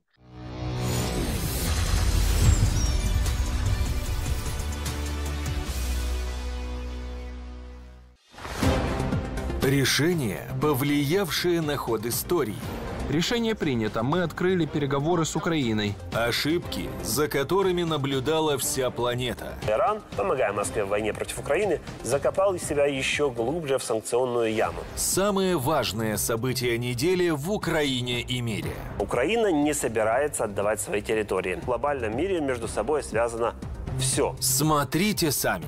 Каждый понедельник в 12.00 по киевскому времени на телеканале Freedom. Вы проживаете на территории России? Вы можете приблизить падение путинского режима без риска для себя. Путин узурпировал власть и лишил граждан России возможности влиять на свою жизнь. Вы можете повлиять. Дроны «Сыч» помогли уничтожить техники путинской оккупационной армии на сотни миллионов долларов. Наша цель – сделать так, чтобы их стало в разы больше. Абсолютно безопасно. Присоединяйтесь к сбору средств на БПЛА с помощью криптовалюты. Такие операции по выводу денег за рубеж из России режим Кремля не способен отследить. Поддержите сбор. Станьте частицей победы над путинским режимом.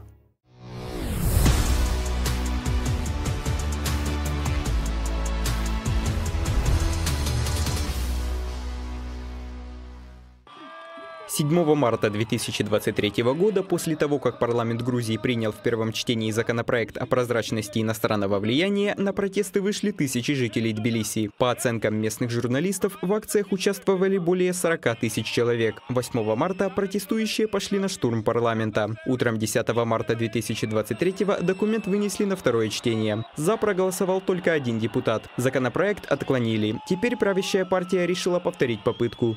Они просто опасаются того, что оппозиционные силы, возможно, получ, получил, как говорится, финансовую помощь э, от э, западных э, неправительственного сектора, смогут преодолеть, так сказать, тот пятипроцентный барьер. То есть они ничего другого умного не придумали, чтобы опять, опять, как говорится, внести этот закон, из-за из которого, кстати, были большие политические волнения, весь грузинский народ поднялся на протестную волну. В 2023 году законопроект предусматривал, что грузинские медиа и некоммерческие организации, которые более чем на 20% финансируются из-за рубежа, должны зарегистрироваться в реестре агентов иностранного влияния. Реестр подчиняется Министерству юстиции Грузии. По словам исполнительного секретаря партии «Грузинская мечта» Мамука Мдинарадзе, в новой версии будет лишь одно изменение. Формулировку «агент иностранного влияния» поменяли на организацию, проводящую интересы сил из-за рубежа. Опасения общественности по поводу законопроекта политик назвал истерикой. Законопроектом предусмотрено единственное требование – публикация годового финансового отчета организациями, получающими иностранное финансирование. За нарушение предусмотрены только финансовые санкции. Таким образом, содержание законопроекта не дает даже минимального основания для критики. До конца нынешней сессии закон будет принят во всех трех чтениях. Из публикации Facebook Georgian Dream. По мнению экспертов, грузинская мечта стремится принять закон об иноагентах до парламентских выборов 26 октября, чтобы обеспечить себе большинство в парламенте. Но я думаю, что если этот законопроект э, будет внесен, грузинский общественность, грузинский народ скажет свое веское слово, и э, на этом этапе тоже, это будет не в пользу, как говорится, позиции э, правящей верхушки и правящей партии Грузии. Я думаю, что правящая партия будет вынуждена опять как говорится, э, свою, свою инициативу фактически аннулировать или взять обратно.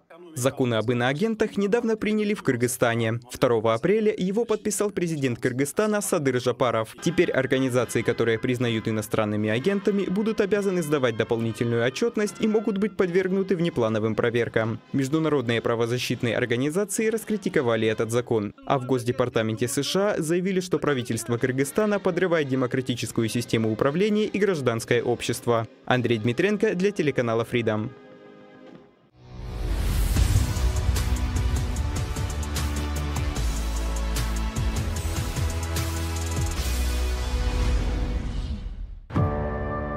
Украина страна не маленькая. Надо бы ее подсократить, чем мы, слава богу, и занимаемся.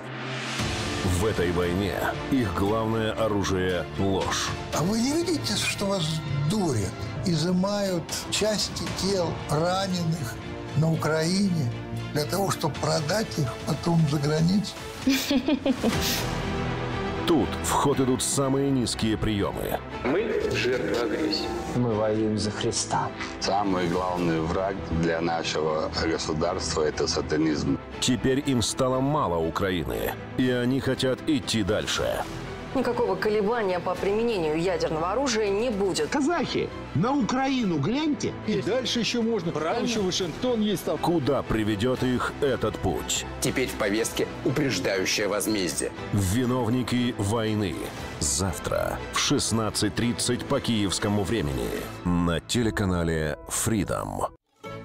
Русские народные сказки. Сходи туда, не знаю куда. Принеси то, не знаю что. Сослужишь, награжу по-царски. А нет, так накажу. Зря вы хрюкаете. Не нужно выполнять безумные приказы царя. Фридом, хватит верить в сказки.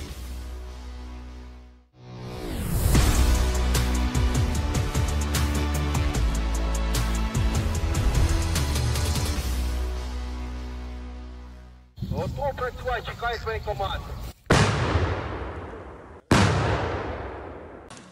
Згратуваємося. Все, заходимо, укріпимося. Вот такая имитация настоящих штурмовых действий. Буквально несколько секунд назад отработала артиллерия в поддержку штурмовиков. Ну и прямо сейчас украинские защитники штурмуют, э, по легенде, позиции противника. Контакт, контакт, на 12!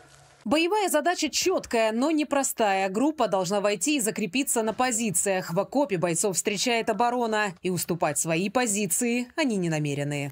Будемо зустрічати на розвілки. Там у нас є можливість маневрувати. Ну да, і там шумить. Можна вони йти на йдуть. сектор 2, на сектор 3 можна йти. Понял? Тому чекаємо їх десь тут. Дымовая завеса и взрывы снарядов еще не самое сложное препятствие для штурмующей пехоты. Противник также может открывать огонь в ответ. И бегать в полном обмундировании при наступлении в реальных боевых столкновениях приходится по заминированным территориям. Штурмовик в першу чергу повинен думати. І як йому діяти в кожній е, екстреній ситуації. Самий процес, коли заходить в окопну лінію противника, да, може бути і заміну- заміновано все. Так само їхня задача зайти, вибити і дивитись під ноги. Все военнослужащие на этой тренировке уже с опытом боевых штурмовых операций. Признаются, участие в них не для слабонервных. И главное – надежное плечо побратима. Один раз був, це, е, це страшно. Да, це страшно, ну нічого, все добре. Ми повинні розуміти, що е, так, індивідуальні навички бійця це дуже важливо, але війна і наступ це завжди командна гра. Отрабатывают навыки стрельбы во время штурмов и обороны на тренировках с винтовками для пейнтбола, заправленными краской. Ну, вага така невелика, да? Я так розумію, скільки він важить. Почти так, як бойовий по вазі. А яка дальність пострілу? 45 метрів. Получить условное ранение от попадания такой пули не опасно, но неприятно, говорят военные. Все ошибки на поле боя после тренировок анализируют и стараются исправлять. Сьогодні отримав, е, скажімо так, поранення, постріл прямо в саме серце. А це от далі ти будеш аналізувати, як так сталося, що Ну так звичайно, ну ну, є ж над чим розбиратися. Банально втрата, втрата зв'язку, втрата одної позиції, і все, і вони вже у нас. Инструкторы говорят, в целом тренировкой ребят довольны. Тут важно отработать каждое действие, чтобы в настоящем бою было легче выполнить задание и сберечь жизнь. Правильно хлопці спрацювали, вибили чай з окопа, посунули її, зайшли в окіп. Все. Е, після того, як ти зайшов в окіп, вірогідність того, що ти залишишся живий на 70-80% якби у ліс. Тому що на підході до окопа тебе розбирає арта, кулемети, міномети, це все. То саме головне, коли підійшли до окопа, швидко, швидко, швидко. Саме головне, щоб вони працювали як одна, як одна. Оця команда, щоб вона працювала як одна людина. Такими тренировками пехота поддерживает свою боевую форму. Дополнительный контраст в обучении бойцам придает и гремящий неподалеку фронт. Алена Грамова, Евгений Кармазин из Донецкой области для телеканала «Фридом».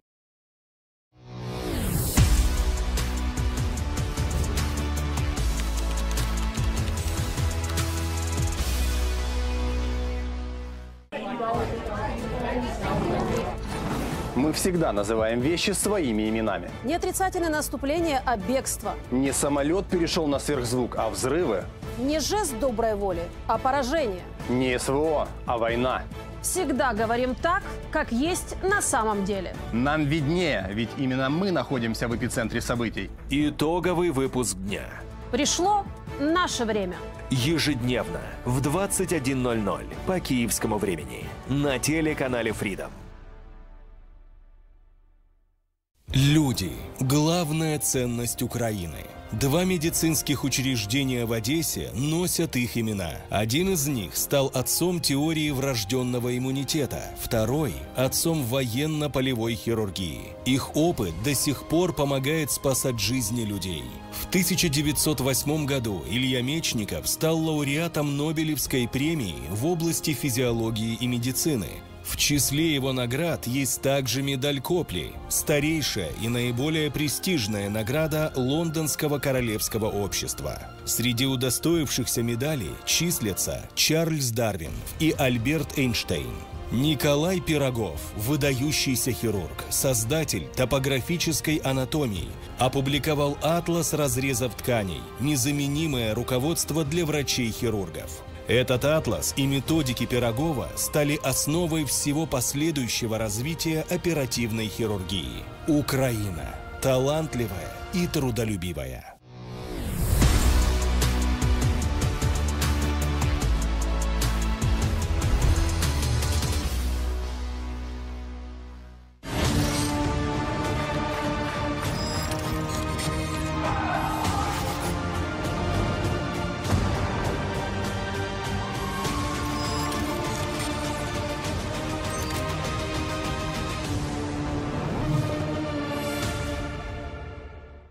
На протяжении 2023 года Россия переживала стремительные сокращения населения. Согласно данным Росстата, уже несколько лет смертность в стране превышает рождаемость. За прошедший год количество новорожденных снизилось до катастрофического минимума, начиная с 1999 года, и абсолютного за все время правления Владимира Путина. Кризис усиливает затяжная война, число жертв которой Кремль тщательно скрывает. Почему Россия находится в перманентном демографическом пике? И как на это влияет полномасштабное вторжение в Украину.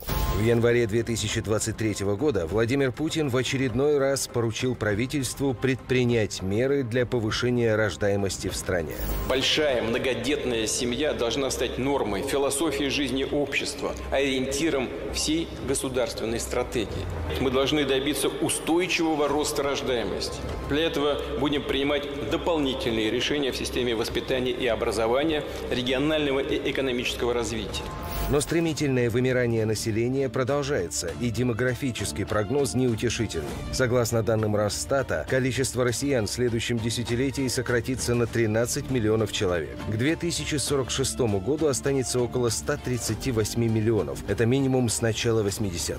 Россия оказалась в демографической яме. Новорожденных стабильно меньше, чем умерших. Эксперты связывают это с несколькими факторами. Во-первых, сказываются тяжелые 90-е. Это немногочисленные современное поколение, которое должно строить семью.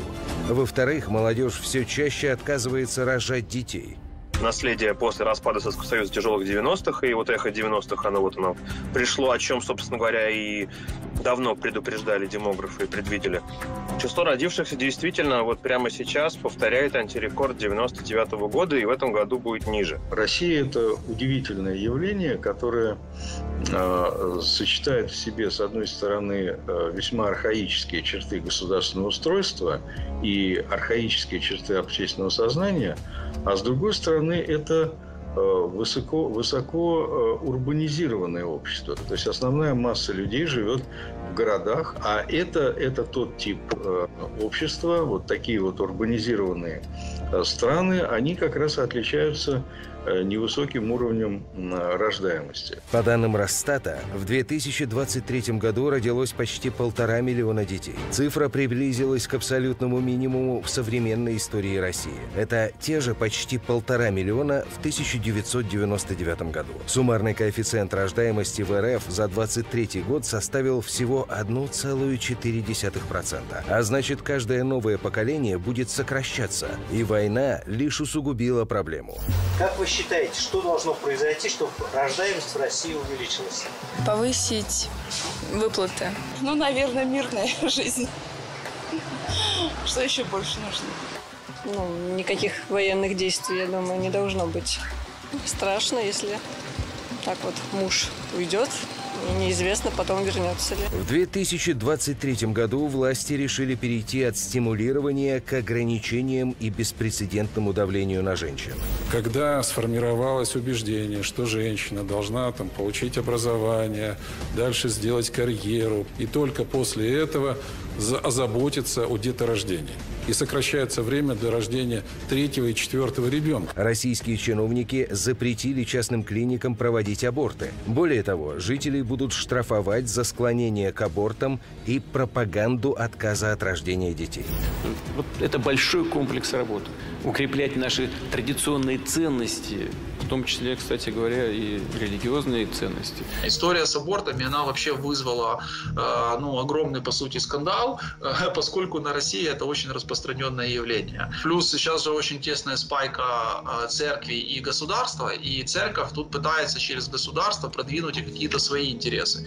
Но они нереализуемы, потому что есть один нюанс. Российское население не является каким-то чрезмерно духовным населением или чрезмерно религиозным населением. Это факт, про все, которые, ну, про, которые все прекрасно знают. Это, это на самом деле какая-то э, попытка э, установления вот этих вот так называемых традиционных ценностей.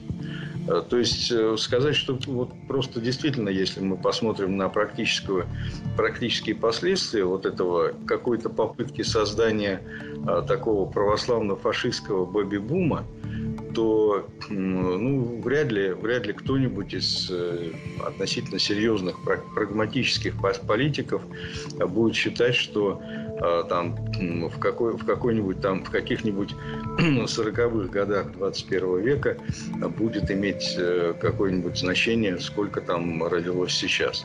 Вот. Поэтому это носит такой, я бы сказал, характер торжества мифологии или э, новой такой религии, который стал путинизм. Агрессия России против Украины, санкции и мобилизация также ударили по демографии. Из-за военных потерь в стране становится меньше потенциальных отцов. Война спровоцировала также самую масштабную за десятилетия волну иммиграции. По разным оценкам, число бежавших больше миллиона человек. Эти миллион или там миллион с небольшим, это э, люди крайне важные для для функционирования страны, потому что это, это ученые. В России, из России уехало две с половиной тысячи ученых просто реально ученых, научных сотрудников академических институтов, исследовательских институтов. Уехало огромное количество программистов. Это тоже, в общем-то, очень серьезный, серьезный удар по целой отрасли уехало большое количество предпринимателей. Это люди, которые давали рабочие места. В целом, это, безусловно, серьезный удар. Вот этот миллион, условный миллион. Минобороны РФ всячески скрывает данное количество жертв на поле боя. Но в официальном отчете Генерального штаба Вооруженных сил Украины указывается, что общие потери российской армии с начала полномасштабного вторжения уже превысили 400 тысяч человек. Большое количество людей погибло или вернулась уже не в репродуктивном состоянии. Цифра примерно в 400 тысяч э, потерь, имеется в виду э, и убитые, и раненые, те, которые не в состоянии уже в ближайшее время иметь детей, это весьма правдоподобно. И это большое, достаточно большое изъятие из э, такого репродуктивного населения, которое находится в, вот, в таком э, уже непригодном для репродукции состоянии. Либо мертвые, либо тяжело раненые. То есть это довольно тоже такой фактор увесистый, который влияет на демографию.